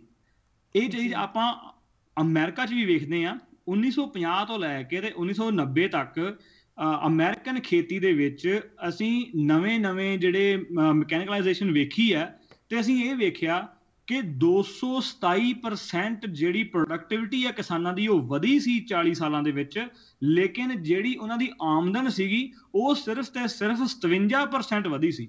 ਸੋ ਕਿੱਥੇ ਸਵਾ 200% ਤੁਸੀਂ ਨਾਜ ਵੱਧ ਪੈਦਾ ਕਰ ਰਹੇ ਆ ਤੇ ਕਿੱਥੇ ਤੁਹਾਡੀ ਜੇਬ ਦੇ ਵਿੱਚ ਸਿਰਫ 50% ਵੱਧ ਪੈਸਾ ਪੈ ਰਿਹਾ ਆ। ਇਹ ਅਸੀਂ ਵੇਖਿਆ ਹਿੰਦੁਸਤਾਨ ਦੇ ਵਿੱਚ ਵੀ ਆ ਗ੍ਰੀਨ ਰੈਵੋਲੂਸ਼ਨ ਦੇ ਸਮੇਂ, ਇਹ ਅਸੀਂ ਵੇਖਣਾ ਹੁਣ ਫੇਰ ਆ। ਤੇ ਐਦਕੀ ਤੇ ਇਥੋਂ ਤੱਕ ਹੋ ਜਾਣਾ ਆ ਮੇਰੇ ਵੀਰ ਸੋਜਵੀਰ ਸਿੰਘ ਨੇ ਬੜੇ ਬੜੇ ਧਿਆਨ ਨਾਲ ਤੁਹਾਨੂੰ ਤੁਹਾਨੂੰ ਕਿ ਹੱਸਿਆ ਵੀ ਆ। ਮੈਂ ਰਿਪੀਟ ਕਰ ਦਵਾਂ ਕਿ ਇਸ ਵੇਲੇ ਪੰਜਾਬ ਦੇ ਵਿੱਚ ਹਿੰਦੁਸਤਾਨ ਦੇ ਵਿੱਚ ਕਿਸਾਨੀ ਖੇਤੇ ਦੇ ਵਿੱਚ ਕਿੱਤੇ ਦੇ ਵਿੱਚ ਤੁਸੀਂ ਸਟਾਕ ਪਾਈਲਿੰਗ ਨਹੀਂ ਕਰ ਸਕਦੇ। ਤੁਸੀਂ ਇੱਕ ਜਿਹੜੀ ਫੇਕ ਡਿਮਾਂਡ ਐਂਡ ਸਪਲਾਈ ਦੀ ਜਿਹੜੀ ਚੇਨ ਆ ਉਹ ਨਹੀਂ ਬਣਾ ਸਕਦੇ। ਜਿਹੜੀ ਜਿਹੜੀ ਫਸਲ ਪਹੁੰਚ ਰਹੀ ਆ ਉਹੀ ਪਹੁੰਚ ਰਹੀ ਆ। ਤੁਸੀਂ ਇਹਨੂੰ ਸੇਵ ਕਰਕੇ ਨਹੀਂ ਕਹਿ ਸਕਦੇ ਕਿ ਇਹ ਨਹੀਂ ਹੈਗੀ ਸਾਡੇ ਕੋਲ ਤੇ ਇਹ- ਇਹਦੀ ਪ੍ਰਾਈਸ ਤਾਂ ਚੱਲ ਗਈ ਆ ਜਾਂ ਵੱਧ ਲੈ ਕੇ ਤੇ ਪ੍ਰਾਈਸ ਡੇਗ ਦਿਓ ਉਹ ਨਹੀਂ ਕਰ ਸਕਦੇ। ਜੋ। ਇਹ ਤਿੰਨ ਬਿੱਲ ਲਿਆ ਰਹੇ ਨੇ ਉਹਦੇ ਵਿੱਚ ਸਟਾਕ ਪਾਈਲਿੰਗ ਅਲਾਉਡ ਹੋਊਗੀ। ਕੰਪਨੀਆਂ ਵੱਡੇ ਵੱਡੇ ਗੋਦਾਮ ਬਣਾਉਣਗੀਆਂ ਐਂਡ ਬਣਾ ਚੁੱਕੀਆਂ ਨੇ। ਅਸੀਂ ਤੁਸੀਂ ਗੂਗਲ ਮੈਪ ਤੇ ਸਰਚ ਕਰ ਲਓ ਬਠਿੰਡੇ ਦੇ ਵਿੱਚ ਬਣਿਆ ਹੋਇਆ ਗੋਦਾਮ ਅਡਾਨੀਆਂ ਦਾ। ਸੋ ਇਹ ਜਿਹੜਾ ਹੈਗਾ ਆ ਵੀ ਜਦੋਂ ਤੁਸੀਂ ਸਟਾਕ ਪਾਈਲਿੰਗ ਕਰੋਗੇ ਮੰਨ ਲਓ ਮੇਰਾ ਉੱਥੇ ਮੱਕੇ ਗੋਦਾਮ ਆ ਮੇਰੇ ਕੋਲ ਪਏ ਨੇ ਆਲੂ ਠੀਕ ਆ ਤੇ ਮੱਕੀ। ਤੇ ਮਾਰਕੀਟ ਦੇ ਵਿੱਚ ਜਿਹੜੇ ਕਿਸਾਨ ਨੇ ਉਹ ਕਿਸਾਨ ਉਹ ਜਿਹੜੇ ਮੱਕੀ ਤੇ ਜਿਹੜੀ ਵੱਧ ਜਾ ਰਹੀ ਆ ਹਨਾ ਵੀ ਉਹ ਬਹੁਤ ਜ਼ਿਆਦਾ ਹੋ ਚੁੱਕੀ ਆ। ਜੀ। ਸੋ ਮੈਂ ਆਪਣੀ ਸੇਵ ਕਰ ਲੈਣੀ ਆ ਰਾਈਟ ਤੇ ਉਹਨਾਂ ਦੀ ਮਾਰਕੀਟ ਦੇ ਵਿੱਚ ਘੱਟ ਰੇਟ ਤੇ ਹੋ ਜਾਣੀ ਆ। ਜਦੋਂ ਉਹ ਘੱਟ ਰੇਟ ਤੇ ਹੋ ਗਈ ਫਿਰ ਜਦੋਂ ਉਹ ਮੁੱਕ ਗਈ ਪੱਕੀ ਫਿਰ ਮੈਂ ਕਹਿਣਾ ਦੇਖੋ ਜੀ ਮੇਰੇ ਕੋਲ ਤੇ ਹਜੇ ਵੀ ਹੈਗੀ ਆ ਤੇ ਫਿਰ। ਰੇਟ ਤਾਂ ਜਾਣਾ ਮੇਰੇ ਵਾਸਤੇ। ਜੀ। ਨਾਟ ਫॉर that ਇਹਨੂੰ ਕਹਿੰਦੇ ਨੇ ਮੈਨੀਪੂਲੇਸ਼ਨ ਇਹਨੂੰ। ਕਹਿੰਦੇ ਨੇ ਸਿਸਟਮ ਦਾ ਗਲਤ ਤਰੀਕੇ ਨਾਲ ਫਾਇਦਾ ਉਠਾ ਕੇ ਆਮ ਕਿਸਾਨ ਦਾ ਫਾਇਦਾ ਕੋਈ ਨਹੀਂ ਹੋਣਾ ਉੱਥੇ ਸਿਰਫ ਤੇ ਸਿਰਫ ਬਿਜ਼ਨਸ ਪੀਪਲ ਦਾ ਫਾਇਦਾ ਹੋਣਾ ਆ। ਜੀ। ਇਹ ਕੀ ਆਪਾਂ ਬਾਅਦ ਚ ਗੱਲ ਕਰ ਸਕਦੇ ਆ ਕਿ ਅਸੀਂ ਇਹ ਚੀਜ਼ਾਂ ਨੂੰ ਕਿੱਦਾਂ ਟੈਕਲ ਕਰਨਾ ਆ ਕਿ। ਕਿ ਫਾਰਮਰ ਨੂੰ ਵੀ ਕੰਪਨੀਆਂ ਬਣਾ ਦਿਓ ਫਿਰ ਫਿਰ ਤੁਸੀਂ ਫਿਰ ਤੁਸੀਂ ਕੰਪੀਟ ਕਰੋ ਫਿਰ ਤੁਸੀਂ ਸਿੱਧਾ ਟੱਕਰਾ ਲਾਓ ਜੇ। ਇਹ ਨਹੀਂ ਵਾਪਸ ਲੈਂਦੇ ਬਿੱਲ ਬਿਲਕੁਲ ਤੁਹਾਡੀ ਸਹੀ ਗੱਲ ਹੈ। ਸਿਮਰਨ ਮੈਂ ਇਹਦੇ ਚ ਇੱਕ ਛੋਟਾ ਜਿਹਾ ਪੁਆਇੰਟ ਐਡ ਕਰਨਾ ਚਾਹੁੰਦਾ। ਤੁਸੀਂ. ਬਹੁਤ ਸਹੀ ਗੱਲ ਕਹੀ ਇਹ ਕਿ ਇਹਦੇ ਵਿੱਚ ਉਹ ਅਲਾਉ ਕਰ ਰਹੇ ਨੇ ਹੋਲਡ ਕਰਨਾ ਅਲਾਉ ਕਰ ਰਹੇ ਨੇ। ਤੇ ਇਹਦੇ ਵਿੱਚ ਉਹਨਾਂ ਨੇ ਚਾਰ ਹੀ ਸਿਚੁਏਸ਼ਨਸ ਦਿੱਤੀਆਂ ਜਿਹਦੇ ਵਿੱਚ ਉਹ ਨਹੀਂ ਕਹਿਣਗੇ ਕਿ ਹੋਲਡ ਨਾ ਕਰੋ। ਉਹ ਹੈਗੀ ਆ ਵਾਰ ਜੇ ਇੰਡੀਆ ਵਾਰ ਤੇ ਹੋਵੇ। ਰਾਈਟ ਜੀ ਸਿਚੁਏਸ਼ਨ ਹੈ ਇਹਦੇ ਵਿੱਚ ਫੈਮਿਨ ਜੇ ਕਿਤੇ ਭੁੱਖਮਰੀ ਹੋ ਜੇ। ਤੀਜੀ ਸਿਚੁਏਸ਼ਨ ਇਹਦੇ ਵਿੱਚ ਹੈਗੀ ਹੈ ਕਲੈਮਿਟੀ ਆਫ ਗ੍ਰੇਵ ਨੇਚਰ ਮਤਲਬ ਕੋਈ ਇਹੋ ਜੀ ਆਫਤ ਆ ਜੇ ਛੋਟੀ ਮੋਟੀ ਨਹੀਂ ਕੋਈ ਛੋਟਾ ਮੋਟਾ ਲੋਕਲ ਕੋਈ ਅਨਰੈਸਟ ਉਹ ਨਹੀਂ ਕੋਈ ਬਹੁਤ ਵੱਡਾ ਨੈਚੁਰਲ ਤੂਫਾਨ ਆ ਜੇ ਉਹ। ਤੇ ਚੌਥੀ ਇਹਦੇ ਵਿੱਚ ਇਹ ਹੈ ਕਿ ਇਨਫਲੇਸ਼ਨ ਜੇ ਇੱਕ ਪਾਰਟਿਕੂਲਰ ਲੈਵਲ ਤੱਕ ਹੋ ਜਾਂਦੀ ਹੈ। ਤਾਂ ਹੀ ਉਹ ਕਹਿ ਸਕਦੇ ਨੇ ਕਿ ਨਹੀਂ ਤੁਸੀਂ ਹੁਣ ਸਾਨੂੰ ਵਾਪਸ ਦਿਓ ਤੇ ਤੁਸੀਂ ਹੋਲਡ ਨਹੀਂ ਕਰ ਸਕਦੇ। ਤੇ ਇਹ ਮੈਂ ਪਹਿਲਾਂ ਵੀ ਗੱਲ ਕਹੀ ਸੀ ਇਹਦੇ 'ਚ ਇੱਕ ਹੋਰ ਅਮੈਂਡਮੈਂਟ ਹੈ। ਇਹ ਤੁਸੀਂ ਉਦੋਂ ਤੱਕ ਕਰ ਸਕਦੇ ਹੋ ਜਦੋਂ ਤੱਕ ਤੁਹਾਡੀ ਕਪੈਸਿਟੀ ਹੈ। ਜੇ। ਤੁਸੀਂ ਬਹੁਤ ਵੱਡਾ ਵੇਅਰ ਹਾਊਸ ਲਾ ਲਿਆ ਜਿਹੜਾ ਫੁੱਲ ਨਹੀਂ ਹੋਇਆ ਜਿਹੜਾ ਅੰਡਰ ਕਪੈਸਿਟੀ ਹੈ ਤੁਸੀਂ ਸਰਕਾਰ ਤੁਹਾਨੂੰ ਤਾਂ ਵੀ ਨਹੀਂ ਕਹਿ ਸਕਦੀ। ਇੱਥੋਂ ਤੱਕ ਨਹੀਂ ਅੱਗੇ ਤੱਕ ਜਿਹੜੇ ਫੂਡ ਪ੍ਰੋਸੈਸਿੰਗ ਹੈ ਜਿਹੜੇ ਜਿਹੜਾ ਨੂੰ ਉਹ ਸਪਲਾਈ ਕਰਦੇ ਨੇ ਜਿਹੜਾ ਫੂਡ ਚੱਕ ਕੇ ਅੱਗੇ ਜਿਵੇਂ ਸੌਸ। ਬਣਦੀ ਹੈ ਟਮਾਟਰ ਦੀ ਸੌਸ ਬਣਦੀ ਜੀ। ਆਲੂਆਂ ਦੇ ਚਿਪਸ ਬਣਦੇ ਨੇ ਜੇ ਉਹ ਸਪਲਾਈ ਚੇਨ ਵੀ ਪੂਰੀ ਸਹੀ ਚੱਲ ਰਹੀ ਹੈ ਜੇ ਮੰਨ ਲਓ ਉਹ ਜਿੰਨਾ ਇਧਰੋਂ ਚੱਕ ਰਹੇ ਨੇ ਉਹਨੂੰ ਪ੍ਰੋਸੈਸ ਕਰ ਰਹੇ ਨੇ ਤੇ ਆਪਣੀ ਸਪਲਾਈ ਚੇਨ ਨੂੰ ਸਪਲਾਈ ਕਰ ਰਹੇ ਨੇ ਸਰਕਾਰ ਤਾਂ ਵੀ ਨਹੀਂ ਮੰਗ ਸਕਦੀ ਉਹਨਾਂ ਤੋਂ। ਜੀ। ਸੋਚਵੀਰ orders ਮੈਨੂੰ ਮੈਨੂੰ ਤੁਹਾਨੂੰ ਰੋਕਣਾ ਪੈ ਰਿਹਾ ਕਾਲਰਸ ਆਪਣੇ ਵਿਚਾਰ ਰੱਖਣਾ ਚਾਹੁੰਦੇ ਆ। ਸਤਿ ਸ਼੍ਰੀ ਅਕਾਲ ਤੁਸੀਂ ਔਨ 에ਅਰ ਹੋ ਹੈਲੋ ਹਾਂਜੀ ਸਤਿ ਸ਼੍ਰੀ ਅਕਾਲ। ਪਲੀਜ਼ ਆਪਣੇ ਟੀਵੀ ਦਾ ਵੋਲਿਊਮ ਮਿਊਟ ਕਰ ਲਓ। ਹਾਂਜੀ ਕਰ ਲਿਆ ਜੀ ਹਾਂਜੀ ਦੱਸੋ। ਹਾਂਜੀ ਅਸ਼ਮਿਤਾ ਜੀ ਸਤਿ ਸ੍ਰੀ ਅਕਾਲ ਜੀ ਅਸ਼ਮਿਤਾ ਜੀ ਮੈਂ ਡਾਕਟਰ ਮਨਵੀਰ ਸਿੰਘ ਬੋਲ ਰਿਹਾ। ਸਤਿ ਸ਼੍ਰੀ ਅਕਾਲ ਮੈਨੂੰ ਸਤਿ ਸ੍ਰੀ ਅਕਾਲ ਜੀ ਮੈਨੂੰ ਬੜਾ ਅੱਛਾ ਲੱਗ ਰਿਹਾ ਹੈ ਕਿ ਆਪ ਜੀ ਨੇ ਅ, ਸੂਰਜ ਵੀ ਤੇ ਮਨ ਸਿਮਰਨ ਦੋਨੋਂ ਹੀ ਨੌਜਵਾਨ ਬੜੇ ਅੱਛੇ ਵਕਤਾ ਲੈ ਕੇ ਆਏ ਹੋ ਜਿਹੜੇ ਕਿ ਸਾਨੂੰ ਐਜੂਕੇਟ ਕਰ ਰਹੇ ਆ ਦੱਸ ਰਹੇ ਨੇ। ਕਿ ਬੇਸਿਕ ਪ੍ਰੋਬਲਮ ਕੀ ਆ? ਜੀ। ਉਹਦੇ ਨਾਲ ਹੀ ਮੈਨੂੰ ਇੱਕ ਹੋਰ ਗੱਲ ਲੱਗੀ ਹੈ ਜਿਹੜਾ ਚਲੋ ਇਹ ਕਾਰਪੋਰੇਟ ਵੱਡੇ ਬਿਜ਼ਨਸਮੈਨ ਨੂੰ ਸਪੋਰਟ ਕਰਨ ਵਾਸਤੇ ਇਹਨਾਂ ਨੇ ਇਦਾਂ ਦੇ ਵਿਧਾਨ ਬਣਾਇਆ ਹੈ ਨਵੇਂ ਬਿੱਲ ਲੈ ਕੇ ਆਏ ਆ। ਤੇ ਉਹਦੇ ਵਿੱਚ ਤੁਸੀਂ ਦੇਖੋ ਉਹਨਾਂ ਨੇ ਇਹ ਵੀ ਪਾਇਆ ਕਿ ਤੁਸੀਂ ਕੋਰਟ ਵਿੱਚ ਨਹੀਂ ਜਾ ਸਕਦੇ। ਜੇ ਕੋਈ ਡਿਸਪਿਊਟ ਹੋਇਆ ਨਾ ਤੇ ਤੁਸੀਂ Courts ਨਹੀਂ ਜਾ ਸਕਦੇ, ਜੀ। ਜਾ ਹੀ ਨਹੀਂ ਸਕਦੇ ਆ। ਜੀ ਜੀ ਜੀ। ਬੜਾ ਅਜੀਬ ਜਿਹਾ ਉਹਨਾਂ ਨੇ ਬੜਾ ਹੀ ਡਿਫੈਕਟਿਵ ਇੱਕ ਮਾਡਲ ਪੇਸ਼ ਕੀ ਕਰਨ ਦੀ ਕੋਸ਼ਿਸ਼ ਕੀਤੀ ਆ। ਤੇ ਇਹਦੇ ਵਾਸਤੇ ਜਿਹੜਾ ਹੁਣ ਸਪੋਰਟ ਸਿਸਟਮ ਹੈ ਸਾਰੀ ਦੂਰੋਂ ਮਿਲ ਰਿਹਾ ਮੈਨੂੰ ਇੱਕ ਗੱਲ ਹੋਰ ਯਾਦ ਆਉਂਦੀ ਹੈ ਕਿ ਇਹਨਾਂ ਨੇ ਦੇਖੋ ਨਾ ਇਹ ਕਾਨੂੰਨ ਦਾ ਜਿਹੜਾ ਹੈ ਨਵਾਂ ਲੈ ਕੇ ਆਏ ਆ ਜੂਨ ਦੇ ਮਹੀਨੇ ਲੈ ਕੇ ਆਏ ਆ ਕਿਉਂਕਿ ਉਹਨਾਂ ਨੂੰ ਪਤਾ ਸੀ ਕਿ ਕੋਵਿਡ ਚੱਲ ਰਹੀ ਹੈ ਪ੍ਰੋਟੈਸਟ ਨਹੀਂ ਹੋਣਗੇ ਆਪੋਜੀਸ਼ਨ ਜ਼ਿਆਦਾ ਨਹੀਂ ਹੋ ਪਾਏਗਾ।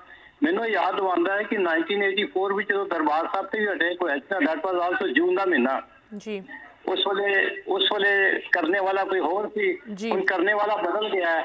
ਪਰ ਜਿੱਥੇ ਉਹਨਾਂ ਨੇ ਪੂਰਾ ਫਾਇਦਾ ਉਠਾਉਣ ਦੀ ਕੋਸ਼ਿਸ਼ ਕੀਤੀ ਕਿ ਜੂਨ ਵਿੱਚ ਆਪਾਂ ਸ਼ੁਰੂ ਕਰਦੇ ਆ ਤੇ ਬਿੱਲ ਪਾਸ ਹੋ ਜਾਏਗਾ ਤੇ ਕੋਈ ਪ੍ਰੋਟੈਸਟ ਨਹੀਂ ਹੋ ਪਾਏਗਾ ਕੋਈ ਆ ਨਹੀਂ ਪਾਏਗਾ ਕੋਸ਼ਿਸ਼ ਕਰਾਂਗੇ ਵੀ। ਕੋਵਿਡ ਚੱਲ ਰਿਹਾ ਤੁਸੀਂ ਆ ਨਹੀਂ ਸਕਦੇ ਤੇ ਇਸ ਤਰ੍ਹਾਂ ਜੀ, ਰੋਕਣ ਵਾਸਤੇ। ਪੂਰਾ ਆਪਣੇ ਵੱਲੋਂ ਪਲਾਨਿੰਗ ਕੀਤੀ ਸੀ ਉਹਨਾਂ ਨੇ ਜੀ ਤੋ ਬੜੀ ਅੱਛੀ ਗੱਲ ਹੈ ਕਿ ਆਪ ਜੀ ਨੇ ਜਿਹੜਾ ਸੱਜੀ ਬਾਤ ਤੇ ਗ੍ਰੀਨ ਪੱਤੀ ਬਣ ਕੇ ਜਿਹੜਾ ਅੱਜ ਦੱਸਿਆ ਹੈ ਤੇ ਆਈ ਹੋਪ ਕਿ ਤੁਸੀਂ ਹਮੇਸ਼ਾ ਹੀ ਇਸ ਗ੍ਰੀਨ ਰਿਵੋਲੂਸ਼ਨ ਔਰ ਕਿਸਾਨੀ ਦਾ ਸਮਰਥਨ ਕਰਦੇ ਰਹੋਗੇ ਬਿਲਕੁਲ ਤੇ ਮੈਨੂੰ ਬੜੀ ਅੱਛਾ ਲੱਗ ਰਿਹਾ ਹੈ ਕਿ ਅੱਜ ਆਪਣੇ ਮੀਡੀਆ ਤੇ ਆਪਾਂ ਸਾਰਿਆਂ ਨੂੰ ਅਵੇਅਰ ਕਰਾ ਰਹੇ ਹਾਂ thank you so much doctor ਸਾਹਿਬ ਤੁਹਾਡੀ ਕਾਲ ਲਈ ਕੁਝ ਹੋਰ ਕਾਲਰ ਸਾਡੇ ਨਾਲ ਜੁੜ ਚੁੱਕੇ ਹੈ। ਸਤਿ ਸ਼੍ਰੀ ਅਕਾਲ ਤੁਸੀਂ ਔਨ 에ਅਰ ਹੋ।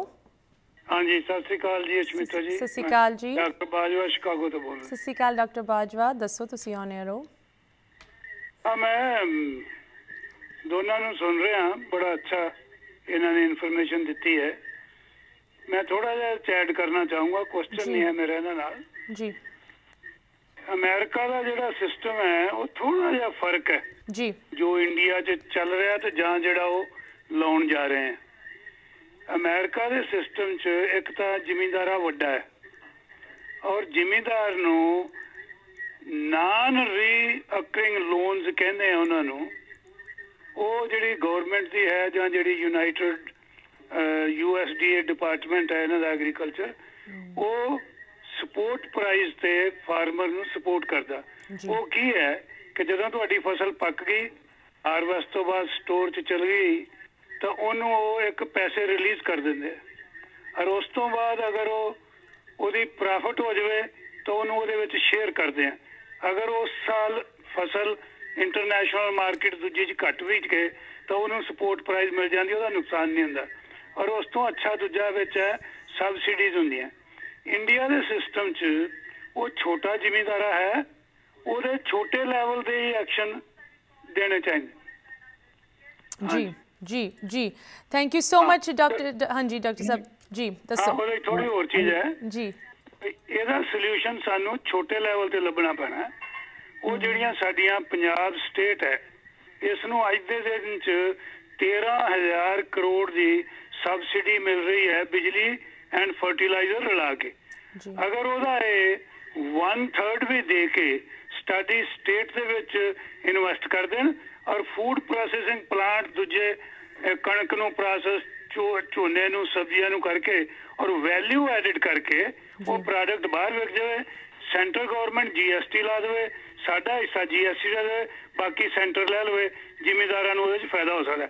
ਵੱਡਾ ਇੱਕਦਮ ਹਨੇਰੀ ਲਿਆ ਕੇ ਦੂਜੇ ਲਿਆ ਕੇ ਇਹ ਸਾਰਾ ਨਸ਼ਟ ਹੋ ਜਾਏਗਾ ਔਰ ਇਹਦੀ ਕੰਸਾਲੀਡੇਸ਼ਨ ਜ਼ਮੀਨ ਦੀ ਕਰਨੀ ਬਹੁਤ ਔਖੀ ਹੋਏਗੀ ਬਹੁਤ ਜ਼ਿਆਦਾ ਇਹ ਜਿਹੜੀ ਰੈਵੋਲੂਸ਼ਨ ਹੈ ਅੱਗੇ ਵਧੇਗੀ ਇਹ ਜਿਹੜੀ ਟਰਬਲ ਚੱਲ ਰਹੀ ਜੀ ਬਿਲਕੁਲ. Thank you thank you so much doctor ਸਾਹਿਬ ਤੁਹਾਡੀ ਕਾਲ ਲਈ ਤੇ ਉਹ ਸੁਝਾਵ ਲਈ ਜੋ ਆਈ ਥਿੰਕ ਇਸ ਵੇਲੇ ਸਾਰੇ ਲੱਭ ਰਹੇ ਹਨ। ਸੋਲੂਸ਼ਨਸ ਤਾਂ ਬਹੁਤ ਹਨ ਬਟ ਅਪਣਾਣੇ ਵਾਲੇ ਅ, ਅ, ਅਪਣਾਉਣ ਵਾਲੇ ਵੀ ਹੋਣੇ ਚਾਹੀਦੇ ਦੂਜੀ ਸਾਈਡ ਤੇ ਰਾਈਟ ਸੋ ਦੇਖਦੇ ਹਾਂ ਕਿਸ ਤਰ੍ਹਾਂ ਸਰਕਾਰ um, ਇਨ ਕੁਝ ਸੋਲੂਸ਼ਨਸ ਨੂੰ ਕੰਸੀਡਰ ਕਰਕੇ ਅੱਗੇ ਵਧਦੀ ਹੈ। um, ਸੋਜਵੀਰ ਤੁਹਾਡੇ ਫਾਦਰ ਸਾਹਿਬ ਜਿਸ ਤਰ੍ਹਾਂ ਤੁਸੀਂ ਕਿਹਾ। ਮੈਂ ਇੱਕ ਚੀਜ਼ ਨੂੰ ਉਹਨਾਂ ਦੀ ਨੂੰ ਬਿਲਕੁਲ ਰਿਸਪੌਂਡ ਕਰਨਾ ਚਾਹੁੰਦਾ। ਜੀ ਜੀ ਜੀ ਪਲੀਜ਼ ਗੋ ਹੈਡ ਜਿਹੜਾ ਉਹਨਾਂ ਨੇ ਬਹੁਤ ਅੱਛਾ ਪੁਆਇੰਟ ਰੇਜ਼ ਕੀਤਾ ਹੈ ਕਿ ਇੱਥੇ ਦਾ ਜਿਹੜਾ ਫਾਰਮਰ ਹੈ ਬਹੁਤ ਵੱਡਾ ਹੈ ਉਹ। ਇੰਡੀਆ ਦੇ ਵਿੱਚ 86% ਜਿਹੜੇ ਫਾਰਮਰ ਹੈ ਉਹਦੇ ਕੋਲ ਜ਼ਮੀਨ 2 ਹੈਕਟੇਅਰ ਤੋਂ ਘੱਟ ਹੈ। ਤਾਂ ਇਹ ਜਿਹੜਾ ਰੂਲ ਲੈ ਕੇ ਆ ਰਹੇ ਆ ਮਾਡਲ ਇੱਥੇ ਦਾ ਚੱਕ ਲਿਆ ਇਹਨਾਂ ਨੇ। ਉੱਥੇ ਦੀ ਕੋਈ ਸਟੱਡੀ ਨਹੀਂ ਕਰੀ ਇਹਨਾਂ ਨੇ। ਜਿਹੜਾ 2 ਕਿੱਲੇ ਵਾਲਾ ਫਾਰਮਰ ਹੈ ਉਹ ਉਹਨੂੰ ਕਹਿੰਦੇ ਵੀ ਤੈਨੂੰ ਅਸੀਂ ਸਿੱਧਾ ਕਾਰਪੋਰੇਟ ਨਾਲ ਕਨੈਕਟ ਕਰ ਦਾਂਗੇ ਠੀਕ ਹੈ? ਤੇ ਉਸ ਤੋਂ ਪਹਿਲਾਂ ਵੀ ਆਪਣੇ ਸੱਜਣ ਜੁੜੇ ਸੀ ਉਹਨਾਂ ਨੇ ਬੜੀ ਅੱਛੀ ਗੱਲ ਕਰੀ ਸੀ ਕਿ ਇਹਦੇ ਵਿੱਚ ਤੁਸੀਂ ਜਾ ਨਹੀਂ ਸਕਦੇ ਕੋਰਟ ਤੱਕ ਨਹੀਂ ਜਾ ਸਰਕਾਰ ਦੇ ਸਕਦੇ। ਵਿੱਚ ਕੋਰਟ ਨਹੀਂ ਕਰ ਸਕਦੇ ਤੇ ਤੁਹਾਡੇ ਤੇ ਤੁਸੀਂ ਕੇਸ ਨਹੀਂ ਕਰ ਸਕਦੇ। ਇਹ ਦੋਨੋਂ ਗੱਲਾਂ ਜੁੜੀਆਂ ਹੋਈਆਂ ਇਹ। ਜੀ। ਇੱਕ ਤਾਂ ਜਿਹੜਾ ਛੋਟਾ ਫਾਰਮਰ ਹੈ ਉਹਨੂੰ ਕਹਿੰਦੇ ਤੁਹਾਨੂੰ ਕਾਰਪੋਰੇਟ ਨਾਲ ਕਨੈਕਟ ਕਰ ਦਾਂਗੇ। ਕਾਰਪੋਰੇਟ ਨੇ ਉਧਰੋਂ ਗ੍ਰੇਡ ਸਟੈਂਡਰਡ ਉਹਦੇ ਤੇ ਕਹਿ ਕੇ ਮਨਾ ਕਰ ਦੇਣਾ ਵੀ ਅਸੀਂ ਤੁਹਾਡਾ ਚੱਕਣਾ ਨਹੀਂ। ਇਧਰੋਂ ਫਿਰ ਜਦੋਂ ਉਹਨੇ ਹੱਕ ਮੰਗਣ ਜਾਣਾ ਉਹਨੂੰ ਕਹਿ ਰਹੇ ਨੇ ਲਾਅ 'ਚ ਦਿੱਤਾ ਹੀ ਨਹੀਂ ਉਹਨਾਂ ਨੇ ਵੀ ਤੁਸੀਂ ਜੁੜ ਸਕਦੇ ਹੋ ਕੋਰਟ ਦੇ ਨਾਲ। ਉਹ ਐਸਡੀਐਮ ਕੋਲ ਜਾ ਸਕਦਾ ਹੈ। ਸਬ ਡਿਸਟ੍ਰਿਕਟ ਮੈਜਿਸਟ੍ਰੇਟ ਹੁੰਦਾ ਹੈ ਉੱਥੇ। ਉਹ ਇੱਕ ਗਵਰਨਮੈਂਟ ਇਲੈਕਟਿਡ ਅਫੀਸ਼ੀਅਲ ਹੁੰਦਾ ਹੈ। ਜੀ। ਤੇ ਜਿਹੜਾ ਗਵਰਨਮੈਂਟ ਇਲੈਕਟਿਡ ਅਫੀਸ਼ੀਅਲ ਹੈ ਉਹ ਉਹ- ਉਹਦੇ ਤੋਂ ਬਾਹਰ ਆਉਂਦਾ ਹੈ ਜੁਡੀਸ਼ਰੀ ਤੋਂ। ਉਹ ਉਹਦੇ ਕੋਲ ਜਾ ਸਕਦੇ ਨੇ। ਕਿਸਾਨ ਦਾ ਛੋਟੇ ਕਿਸਾਨ ਦਾ ਬੇਸਿਕਲੀ ਉਹ ਹਰ ਪਾਸਿਓਂ ਇਸ ਚ ਗਲਾ ਘੁੱਟਣਾ ਚਾਹੁੰਦੇ ਨੇ ਤੇ ਉਹ। ਚਾਹੁੰਦੇ ਨੇ ਕਿ ਉਹ ਗੋਡਿਆਂ ਤੇ ਆ ਜੇ ਤੇ ਮੈਂ ਕਹਿਣਾ ਨਹੀਂ ਚਾਹੂੰਗਾ ਪਰ ਉਹ ਚਾਹੁੰਦੇ ਨੇ ਕਿ ਉਹ ਆਪਣੇ ਖੇਤਾਂ ਦੇ ਵਿੱਚ ਹੀ ਮਜ਼ਦੂਰ ਬਣ ਕੇ ਰਹਿ ਜਾਵੇ। ਇਹ ਇਹ ਉਹਨਾਂ ਦਾ ਇਸ ਮੈਂ ਇਹਨੂੰ ਇੱਕ ਨੌਲੇਜ ਵਿੱਚ ਵਾਧਾ ਕਰਨਾ ਚਾਹੂੰਗਾ। ਕਾਲਰ ਨੇ ਬਹੁਤ ਵਧੀਆ ਗੱਲ ਕਹੀ ਹੈ ਡਾਕਟਰ ਬਾਜਵਾ ਸਾਹਿਬ ਨੇ। ਲੇਕਿਨ ਗੱਲ ਇਹ ਸੋਚਣ ਵਾਲੀ ਹੈ ਕਿ ਅਮਰੀਕਾ ਦੇ ਵਿੱਚ ਵੀ ਕੋਈ ਸਮਾਂ ਸੀਗਾ ਜਿਸ ਵੇਲੇ ਅਮਰੀਕਾ ਦੇ ਵਿੱਚ ਵੀ ਜਿਹੜੇ ਕਿਸਾਨ ਸੀਗੇ ਉਹਨਾਂ ਕੋਲ ਥੋੜੀਆਂ ਜ਼ਮੀਨਾਂ ਹੁੰਦੀਆਂ ਸੀ। ਇਹੋ ਜਿਹੇ ਹੀ ਰੂਲ ਲਿਆ ਕੇ ਉਹਨਾਂ ਨੇ ਸਿਰਫ ਤੇ ਸਿਰਫ ਜਿਨ੍ਹਾਂ ਕੋਲ 100 200 ਕਿੱਲਾ 300 ਕਿੱਲਾ ਹੈਗਾ ਉਹਨਾਂ ਨੂੰ ਸਕਸੈਸਫੁਲ ਬਣਾ ਦਿੱਤਾ ਜੇ ਤੁਹਾਡੇ ਕੋਲ ਅੱਜ ਅਮਰੀਕਾ ਦੇ ਵਿੱਚ 30 40 ਕਿੱਲੇ ਵੀ ਹੈਗੇ ਨੇ। ਤੁਸੀਂ ਕੁਝ ਨਹੀਂ ਹੈਗੇ ਤੁਸੀਂ ਫਾਰਮਰ ਨਹੀਂ ਹੈਗੇ। ਤੇ ਜਿੱਥੋਂ ਤੱਕ ਆਪਾਂ ਸਬਸਿਡੀ ਦੀ ਗੱਲ ਕਰਦੇ ਆ ਜਾਂ ਜਿਹੜੀ ਮਿਨੀਮਮ ਸਪੋਰਟ ਇੱਥੇ ਚੱਲਦੀ ਆ ਉਹ ਚੀਜ਼ ਆਪਾਂ ਇਹ ਵੇਖ ਸਕਦੇ ਹਾਂ ਕਿ ਹਿੰਦੁਸਤਾਨ ਦੇ ਵਿੱਚ ਫਾਰਮਰ ਲਈ ਸਬਸਿਡੀ ਵਾਲੀ ਗੱਲ ਕਦੀ ਵੀ ਨਹੀਂ ਹੋਣੀ। ਪਹਿਲੀ ਗੱਲ ਤੇ ਉਹ ਸਿਰਫ ਤੇ ਸਿਰਫ ਡਿਵੈਲਪਡ ਦੇਸ਼ਾਂ ਦੇ ਵਿੱਚ ਹੁੰਦੀ ਆ ਜਿਹੜੀ ਸਬਸਿਡੀ ਦੇਣੀ ਆ ਆਪਾਂ ਖਾਸ ਕਰਕੇ ਕਿਸਾਨਾਂ ਨੂੰ ਰਾਈਟ ਉਹ ਉੱਥੇ ਨਹੀਂ ਹੋ ਸਕਦੀ ਰਾਈਟ ਨਾਓ ਜੀ ਹੁਣ ਜੀ। ਗੱਲ ਸੋਚਣ ਵਾਲੀ ਹੈ ਕਿ ਜਿਹੜਾ 1917 ਦੇ ਵਿੱਚ ਜਿਹੜਾ ਯੀਲਡ ਪਿਆ ਇੱਥੇ ਅਮਰੀਕਾ ਦੇ ਵਿੱਚ ਦੋ ਪਾਸੇ ਤੁਸੀਂ ਜਾ ਸਕਦੇ ਸੀਗੇ ਇਹ ਗਏ ਨੇ ਵੀ ਠੀਕ ਹੈ ਜੀ ਅਸੀਂ ਛੋਟੇ ਫਾਰਮਰ ਨੂੰ ਖਤਮ ਕਰ ਦੇਣਾ ਆ। ਅਸੀਂ ਕੋਸ਼ਿਸ਼ ਕਰ ਰਹੇ ਹਾਂ ਕਿ ਇਹ ਬਿੱਲ ਖਤਮ ਹੋ ਜਾਣ ਤੇ ਅਸੀਂ ਵਾਪਸ ਰਾਈਟ ਨਾਓ ਵਾਲੇ ਸਿਸਟਮ 'ਚ ਪੈ ਜਾਈਏ ਪਰ ਰਾਈਟ ਨਾਓ ਵਾਲੇ ਸਿਸਟਮ ਦੇ ਵਿੱਚ ਵੀ subsidy and minimum support price the increase ਦੀ ਲੋੜ ਆ। ਜੇ ਅਸੀਂ ਕਿਸਾਨਾਂ ਦੀ ਗੱਲ ਫਸਲ ਦੀ ਗੱਲ ਕਰੀਏ ਤੇ 1980 ਦੇ ਵਿੱਚ ਜੋ ਦਾਮ ਫਸਲਾਂ ਦਾ ਸੀਗਾ ਤੇ ਜੋ ਅੱਜ ਹੈਗਾ ਆ ਜਿਹੜੀ ਯੀਲਡ ਆ ਉਹ ਤਕਰੀਬਨ ਤਕਰੀਬਨ 67% ਹਿੰਦੁਸਤਾਨ ਦੇ ਵਿੱਚ ਵਧੀ ਹੈ ਤੇ ਕਿਸਾਨ ਦਾ ਜਿਹੜਾ ਪਰ ਕੁਇੰਟਲ ਜਿਹੜਾ ਮੁਨਾਫਾ ਆ ਉਹ ਸਿਰਫ ਤੇ ਸਿਰਫ 17% ਵਧਿਆ ਆ। ਇਹ ਚੀਜ਼ਾਂ ਲੋੜ ਆ ਸਾਨੂੰ ਦੇਖਣ ਦੀ। ਜੀ, ਬਿਲਕੁਲ। ਥੈਂਕ ਯੂ ਸੋ ਮਚ ਸੋਜਪ੍ਰੀ ਸੋਜਵੀਰ, ਮਨਸਿਮਰਨ, ਸਾਡੇ ਕੋਲ ਸਮਾਂ ਜ਼ਿਆਦਾ ਨਹੀਂ ਰਹਿ ਗਿਆ। ਮੈਂ ਚਾਹਾਂਗੀ ਜਾਂਦੇ ਜਾਂਦੇ ਤੁਸੀਂ ਸਾਨੂੰ ਕੁਝ ਕਲੋਜ਼ਿੰਗ ਸਟੇਟਮੈਂਟਸ ਤੇ ਕੀ ਹੋਰ ਜਾਣਕਾਰੀ, ਖਾਸ ਕਰਕੇ ਇਨ ਪ੍ਰੋਟੈਸਟ ਨੂੰ ਲੈ ਕੇ ਦੇਣਾ ਚਾਹੁੰਦੇ ਹੋ? ਮਨਸਿਮਰਨ, ਮੈਂ ਤੁਹਾਡੇ ਨਾਲ ਸ਼ੁਰੂ ਕਰਦੀ ਹਾਂ। ਜੀ, ਸੋ ਬੇਸਿਕਲੀ ਜਿਵੇਂ ਕਿ ਸਭ ਜਾਣਦੇ ਹਨ ਕਿ ਪਿਛਲੇ ਹਫ਼ਤੇ ਫਰਾਈਡੇ ਨੂੰ ਤੇ ਸੈਟਰਡੇ ਨੂੰ ਦੋ ਦਿਨ ਲਗਾਤਾਰ ਪ੍ਰੋਟੈਸਟ ਇੱਕ ਇੰਟਰਨੈਸ਼ਨਲ ਲੈਵਲ ਤੇ ਹੋਏ ਹਨ।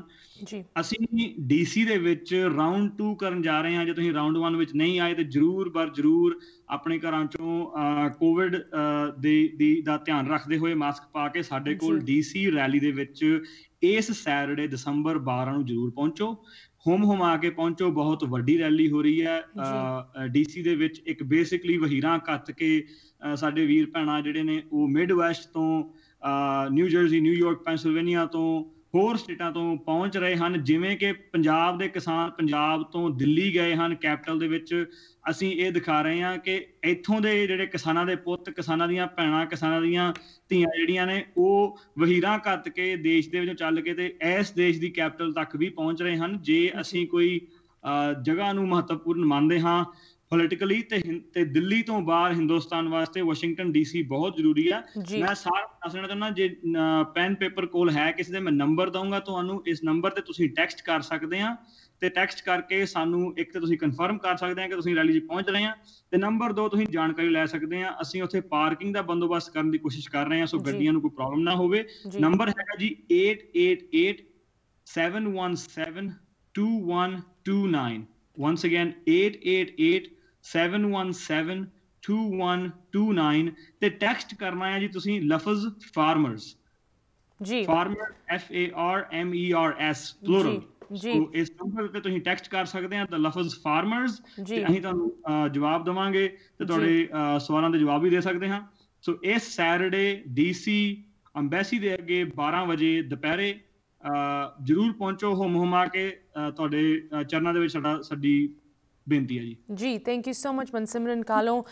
ਤੇ ਸੋਜਵੀਰ ਤੁਹਾਡੇ ਫਾਦਰ ਸਾਹਿਬ ਸਾਡੇ ਨਾਲ ਅੱਜ ਇਸ ਪ੍ਰੋਗਰਾਮ 'ਚ ਨਹੀਂ ਕਨੈਕਟ ਹੋ ਸਕੇ ਬਟ ਉਹਨਾਂ ਦਾ ਕੁਝ ਮੈਸੇਜ ਕੁਝ ਉਹਨਾਂ ਦੇ ਵੱਲੋਂ ਜਾਣਕਾਰੀ ਜ਼ਰੂਰ ਪਹੁੰਚਾਉਣ ਦੀ ਕੋਸ਼ਿਸ਼ ਕਰਾਂਗੇ ਆਉਣ ਵਾਲੇ ਦੇ ਸਮੇਂ ਦੇ- ਵਿੱਚ। ਬਟ ਅੱਜ ਤੁਸੀਂ ਕੀ ਸਾਨੂੰ ਕਹਿਣਾ ਚਾਹੁੰਦੇ ਹੋ ਕਲੋਜ਼ਿੰਗ ਦੇ ਵਿੱਚ? ਬਿਲਕੁਲ ਜੀ ਸਾਨੂੰ ਇਹ ਕਹਿਣਾ ਚਾਹੁੰਦੇ ਮੈਂ ਮੈਂ ਜੀ ਸਭ ਨੂੰ ਇਹ ਕਹਿਣਾ ਚਾਹੁੰਦਾ ਕਿ ਆਪਾਂ ਸਾਰੇ ਕਿਤੇ ਨਾ ਕਿਤੇ ਇਸ ਫਾਰਮਿੰਗ ਦੇ ਨਾਲ ਜੁੜੇ ਹੋਏ ਆ ਕਿਤੇ ਨਾ ਕਿਤੇ ਆਪਣੀ ਲਾਈਫ ਦੇ ਵਿੱਚ ਜੇ ਆਪਾਂ ਦੇਖੀਏ ਆਪਣੀਆਂ ਪਿਛਲੀਆਂ ਪੀੜ੍ਹੀਆਂ, ਕਿਸੇ ਦੀ ਇੱਕ ਪੀੜ੍ਹੀ ਹੈ ਕਿਸੇ ਦੀ ਦੋ ਪੀੜ੍ਹੀਆਂ, ਤੇ ਆਪਾਂ ਸਾਰੇ ਇਸ ਇਸ ਚੀਜ਼ ਦੇ ਨਾਲ ਜੁੜੇ ਹੋਏ ਆ ਇਹ ਜਿਹੜਾ ਇਹਨਾਂ ਨੇ ਬਿੱਲ ਲਿਆਂਦੇ ਨੇ, ਇਹ ਇਹਨਾਂ ਨੇ ਆਪਣੀ ਐਗਜ਼ਿਸਟੈਂਸ ਤੇ ਕੁਐਸਚਨ ਮਾਰਕ ਲਾਤਾ ਕਿ ਅਸੀਂ ਤੁਹਾਨੂੰ ਸਿਖਾਵਾਂਗੇ ਵੀ ਖੇਤੀ ਕਿਵੇਂ ਕਰੀ ਜਾਂਦੀ ਹੈ। ਜਿਹੜੀ ਸਾਡੀ ਦਾਦੇ ਪੜਦਾਦਿਆਂ ਨੇ ਕਰੀ ਹੈ, ਜਿਹੜੀ ਪੁਸ਼ਤਾਂ ਤੋਂ ਚੱਲੀ ਆ ਰਹੀ ਹੈ, ਇਹ ਇਸ ਤਰ੍ਹਾਂ ਦੇ ਲਾਅ ਲੈ ਕੇ ਆ ਰਹੇ ਨੇ, ਜਿਹਦੇ ਵਿੱਚ ਇਹ ਕਹਿ ਰਹੇ ਨੇ, ਅਸੀਂ ਤੁਹਾਨੂੰ ਸਮਝਾਵਾਂਗੇ ਕਿ ਅਸੀਂ ਕਿਸ ਤਰ੍ਹਾਂ ਖੇਤੀ ਕਰਦੇ ਹਾਂ। ਇਹ, ਇਹਨੂੰ, ਇਹ ਟਰਮ ਦੇ ਰਹੇ ਨੇ ਨਿਊ ਤੇ ਮਾਡਰਨ ਤੇ ਇਹਦੇ ਇਹਦੇ ਵਿੱਚ ਜਿਹੜੇ ਰਿਫਾਰਮ ਕਰਨੇ ਨੇ ਉਹ ਬਹੁਤ ਸਾਰੇ ਹੋਰ ਰਿਫਾਰਮ ਨੇ ਖੇਤੀ ਦੇ ਵਿੱਚ ਕਰੇ ਜਾ ਸਕਦੇ। ਜਿਹੜੇ ਦਰਿਆ ਹੈ ਪੂਰੇ ਹਿੰਦੁਸਤਾਨ ਦੇ ਵਿੱਚ ਉਹਨਾਂ ਦਾ ਜਿਹੜਾ ਪਾਣੀ ਹੈ ਉਹ ਸਿੱਧਾ ਸਮੁੰਦਰ 'ਚ ਜਾ ਰਿਹਾ ਹੈ। ਉਹਨਾਂ ਨੂੰ ਤੁਸੀਂ ਯੂਟਿਲਾਈਜ਼ ਕਰੋ ਉਹਨਾਂ ਨੂੰ ਖੇਤੀ 'ਚ ਲਾਓ ਉਹ। ਪ੍ਰੋਜੈਕਟ ਲਾਓ ਜਿਹਦੇ ਕਰਕੇ ਸਰਪਲਸ ਹੋ ਸਕੇ। ਤੇ ਦੂਜੀ ਗੱਲ ਮੈਂ ਇਹ ਕਹਿਣਾ ਚਾਹੁੰਦਾ ਵੀ ਇਹ ਸਾਰਾ ਜਿਹੜਾ ਮੋਰਚਾ ਹੈ ਇਹ ਇਹ ਇੱਕ ਐਗਜ਼ਾਮਪਲ ਹੈ ਜਿਹੜੀ ਇੱਕ ਰੈਵੋਲੂਸ਼ਨ ਹੈ ਜਿਹੜੀ ਹਿਸਟਰੀ 'ਚ ਲਿਖੀ ਜਾਊਗੀ। ਤੇ ਇਹਦੇ ਵਿੱਚ ਜਿੰਨਾ ਵੀ ਆਪਾਂ ਕੋਈ ਕੰਟਰੀਬਿਊਟ ਕਰ ਸਕਦਾ ਹੈ ਛੋਟਾ ਹੋਵੇ ਵੱਡਾ ਹੋਵੇ ਕਿਸੇ ਵੀ ਤਰ੍ਹਾਂ ਦਾ ਕੋਈ ਕੰਟਰੀਬਿਊਟ ਕਰ ਸਕਦਾ ਹੈ ਚਾਹੇ ਤੁਸੀਂ ਆਪਣਾ ਸੋਸ਼ਲ ਮੀਡੀਆ ਅੱਜਕੱਲ ਸਾਰਿਆਂ ਕੋਲ ਹੈ ਚੱਕ ਕੇ ਟਵੀਟ ਕਰੋ ਤੁਸੀਂ ਇੰਸਟਾਗ੍ਰam ਤੇ ਸਾਰਿਆਂ ਨੂੰ ਪੋਸਟ ਕਰੋ ਇਨਫੋਰਮੇਸ਼ਨ। ਚਾਹੀਦੀ ਹੈ ਉਹ ਲੈਣ ਦੀ ਕੋਸ਼ਿਸ਼ ਕਰੋ ਤੇ be aware and and be with this movement ਇਹ। ਇਹ ਇਹ ਇੰਨੀ ਛੇਤੀ ਮੁੱਕਣ ਵਾਲਾ ਪ੍ਰੋਟੈਸਟ ਨਹੀਂ ਹੈ ਇਹ ਲੰਬਾ। ਚੱਲੇਗਾ ਤੇ ਬੀ ਬੁਲੰਦ thank you so much Sojveer. Singh ਤੇ ਮਨਸਿਮਰਨ ਸਿੰਘ ਕਾਲੋ ਤੁਸੀਂ ਦੋਨੋਂ ਸਾਡੇ ਨਾਲ ਜੁੜ ਕੇ ਥੋੜਾ ਜਿਹਾ ਹੋਰ ਚਾਨਣ ਪਾਇਆ ਇਸ ਕਾਫੀ ਕੰਪਲਿਕੇਟਿਡ ਪ੍ਰੋਬਲਮ ਤੇ। Thank you so much have a good rest of your night ਸਤਿ ਸ਼੍ਰੀ ਅਕਾਲ। Um, ਕੁਝ ਕਾਲਰਸ ਦੀ ਵੀ ਕਾਲ ਸੁਣ ਲੈਂਦੇ ਆ ਸਤਿ ਸ਼੍ਰੀ ਅਕਾਲ ਤੁਸੀਂ ਔਨ 에ਅਰ ਹੋ? ਹੈਲੋ ਹਾਂਜੀ ਸਤਿ ਸ਼੍ਰੀ ਅਕਾਲ ਜੀ। ਸਤਿ ਸ਼੍ਰੀ ਅਕਾਲ ਜੀ ਦੱਸੋ।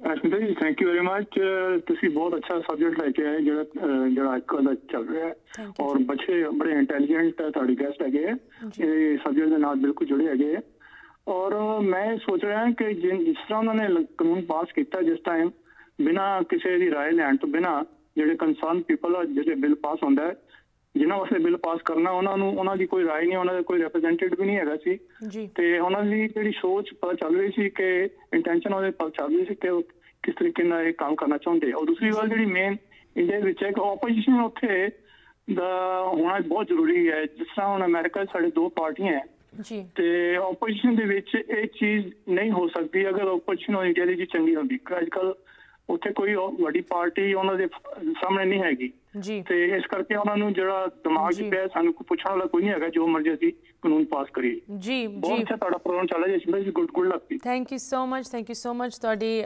ਵੰਡਰਫੁਲ ਫੀਡਬੈਕ ਲਈ ਅਪਰੀਸ਼ੀਏਟ ਥੈਟ ਮੈਂ ਇੱਥੇ ਜਾਂਦੇ ਜਾਂਦੇ ਸਿਰਫ ਦੋ ਚੀਜ਼ਾਂ ਤੁਹਾਨੂੰ ਕਹਿਣੀ ਚਾਹੁੰਦੀ ਹਾਂ ਜਿਸ ਤਰ੍ਹਾਂ ਸਾਡੇ ਸਿੱਖੀ ਸਰੂਪ ਜਦੋਂ ਤੁਸੀਂ ਆਪਣੀ ਪੱਗ ਬੰਨ੍ਹਦੇ ਹੋ ਜੋ ਸਿੱਖਾਂ ਦੀ ਸ਼ਾਨ ਹੁੰਦੀ ਹੈ ਦੂਰੋਂ ਤੁਸੀਂ ਪਹਿਚਾਨੇ ਜਾਂਦੇ ਹੋ ਕਿ ਉਹ ਸਿੱਖ ਹੈ। ਉਹ ਬੰਦਾ ਪੱਗ ਬੰਦਾ ਉਹ ਸਿੱਖ ਹੈਗਾ।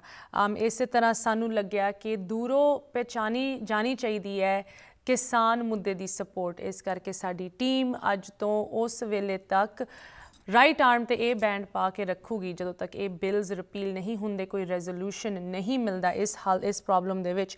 ਦੂਜੀ ਚੀਜ਼ ਜਿੱਥੇ ਯੂਨਾਈਟਿਡ ਸਟੇਟਸ ਅਮਰੀਕਨ ਟਾਈਮ ਦੇ ਮੁਤਾਬਿਕ ਕੱਲ ਭਾਰਤ ਬੰਦ ਪ੍ਰੋਟੈਸਟ ਸਟ੍ਰਾਈਕ ਹੋਣ ਜਾ ਰਹੀ ਹੈ ਇੰਡੀਆ ਵਿੱਚ ਤਾਂ ਇਹ ਆਲਰੇਡੀ ਸ਼ੁਰੂ ਹੋ ਚੁੱਕੀ ਹੈ। ਇੰਡੀਅਨ ਗਵਰਨਮੈਂਟ ਵੱਲੋਂ ਇੱਥੇ ਨਿਊਯਾਰਕ ਸਿਟੀ ਦੇ ਵਿੱਚ ਨਿਊਯਾਰਕ ਕਾਉਂਸਲੇਟ ਨੇ ਸਾਨੂੰ ਅਪਰੋਚ ਕੀਤਾ ਕਿ ਉਹ ਆਪਣਾ ਪੱਖ ਰੱਖਣਾ ਚਾਹੁੰਦੇ ਇਸ ਮੰਚ ਤੇ। ਤੇ ਆਫ ਕੋਰਸ ਇਹ ਇੱਕ ਆਬਜੈਕਟਿਵ ਥਾਂ ਹੈਗੀ ਸਾਰਿਆਂ ਨੂੰ ਹੱਕ ਹੈ ਇੱਥੇ ਆ ਕੇ ਆਪਣੀ ਗੱਲ ਰੱਖਣ ਦਾ। ਸੋ ਕੱਲ ਮੁੱਦੇ ਦੇ ਵਿੱਚ ਸਾਡੀ ਐਕਸਕਲੂਸਿਵ ਇੰਟਰਵਿਊ ਗੱਲਬਾਤ ਹੋਏਗੀ ਕਾਉਂਸਲ ਜਨਰਲ ਦੇ ਨਾਲ ਬਟ ਅਨਫੋਰਚੂਨੇਟਲੀ ਉਹ ਲਾਈਵ ਸਾਨੂੰ ਨਹੀਂ ਜੁਆਇਨ ਕਰ ਸਕਦੇ। ਮੈਂ ਚਾਹੁੰਦੀ ਹਾਂ ਕਿ ਤੁਹਾਡੇ ਕੋਈ ਵੀ ਕੁਐਸਚਨਸ ਸੀਜੀ ਲਈ consul general of New York ਦੇ ਲਈ ਜੋ ਕਿ ਸਾਡੇ ਨਾਲ ਗੱਲ ਕਰਨਗੇ, ਤੁਸੀਂ ਮੈਨੂੰ ਸੈਂਡ ਕਰੋ। ਅੱਜ ਸ਼ਾਮ ਨੂੰ ਕੱਲ ਦੁਪਹਿਰ ਨੂੰ ਸਾਡੀ ਇੰਟਰਵਿਊ ਦੀ ਰਿਕਾਰਡਿੰਗ ਹੈਗੀ ਉਹਨਾਂ ਦੇ ਨਾਲ। ਤੁਹਾਡੇ ਕੁਐਸਚਨਸ ਮੈਂ ਪੁੱਛਾਂਗੀ। ਤੁਸੀਂ ਮੈਨੂੰ ਈਮੇਲ ਕਰ ਸਕਦੇ ਹੋ info@justbroadcasting.com ashmita@justbroadcasting.com ਜਾਂ ਅਗਰ ਤੁਸੀਂ WhatsApp ਕਰਨੇ ਆਪਣੇ ਸਵਾਲ, ਤੁਸੀਂ ਸਾਨੂੰ WhatsApp ਕਰ ਸਕਦੇ ਹੋ 7187848600 ਇੱਕ ਵਾਰੀ ਫਿਰ ਕੱਲ ਮੈਂ ਇੰਡੀਅਨ ਗਵਰਨਮੈਂਟ ਵੱਲੋਂ ਕਾਉਂਸਲ ਜਨਰਲ ਨਿਊਯਾਰਕ ਦੇ ਨਾਲ ਗੱਲ ਕਰ ਰਹੀ ਹਾਂ ਐਕਸਕਲੂਸਿਵ ਇੰਟਰਵਿਊ ਦੇ ਵਿੱਚ। ਤੁਸੀਂ ਆਪਣੇ ਸਵਾਲ ਮੈਨੂੰ ਐਡਵਾਂਸ ਵਿੱਚ ਸੈਂਡ ਕਰੋ, ਜ਼ਰੂਰ ਪੁੱਛਾਂਗੀ। ਹੁਣ ਸਾਨੂੰ ਦਿਓ ਇਜਾਜ਼ਤ। ਸਤਿ ਸ਼੍ਰੀ ਅਕਾਲ।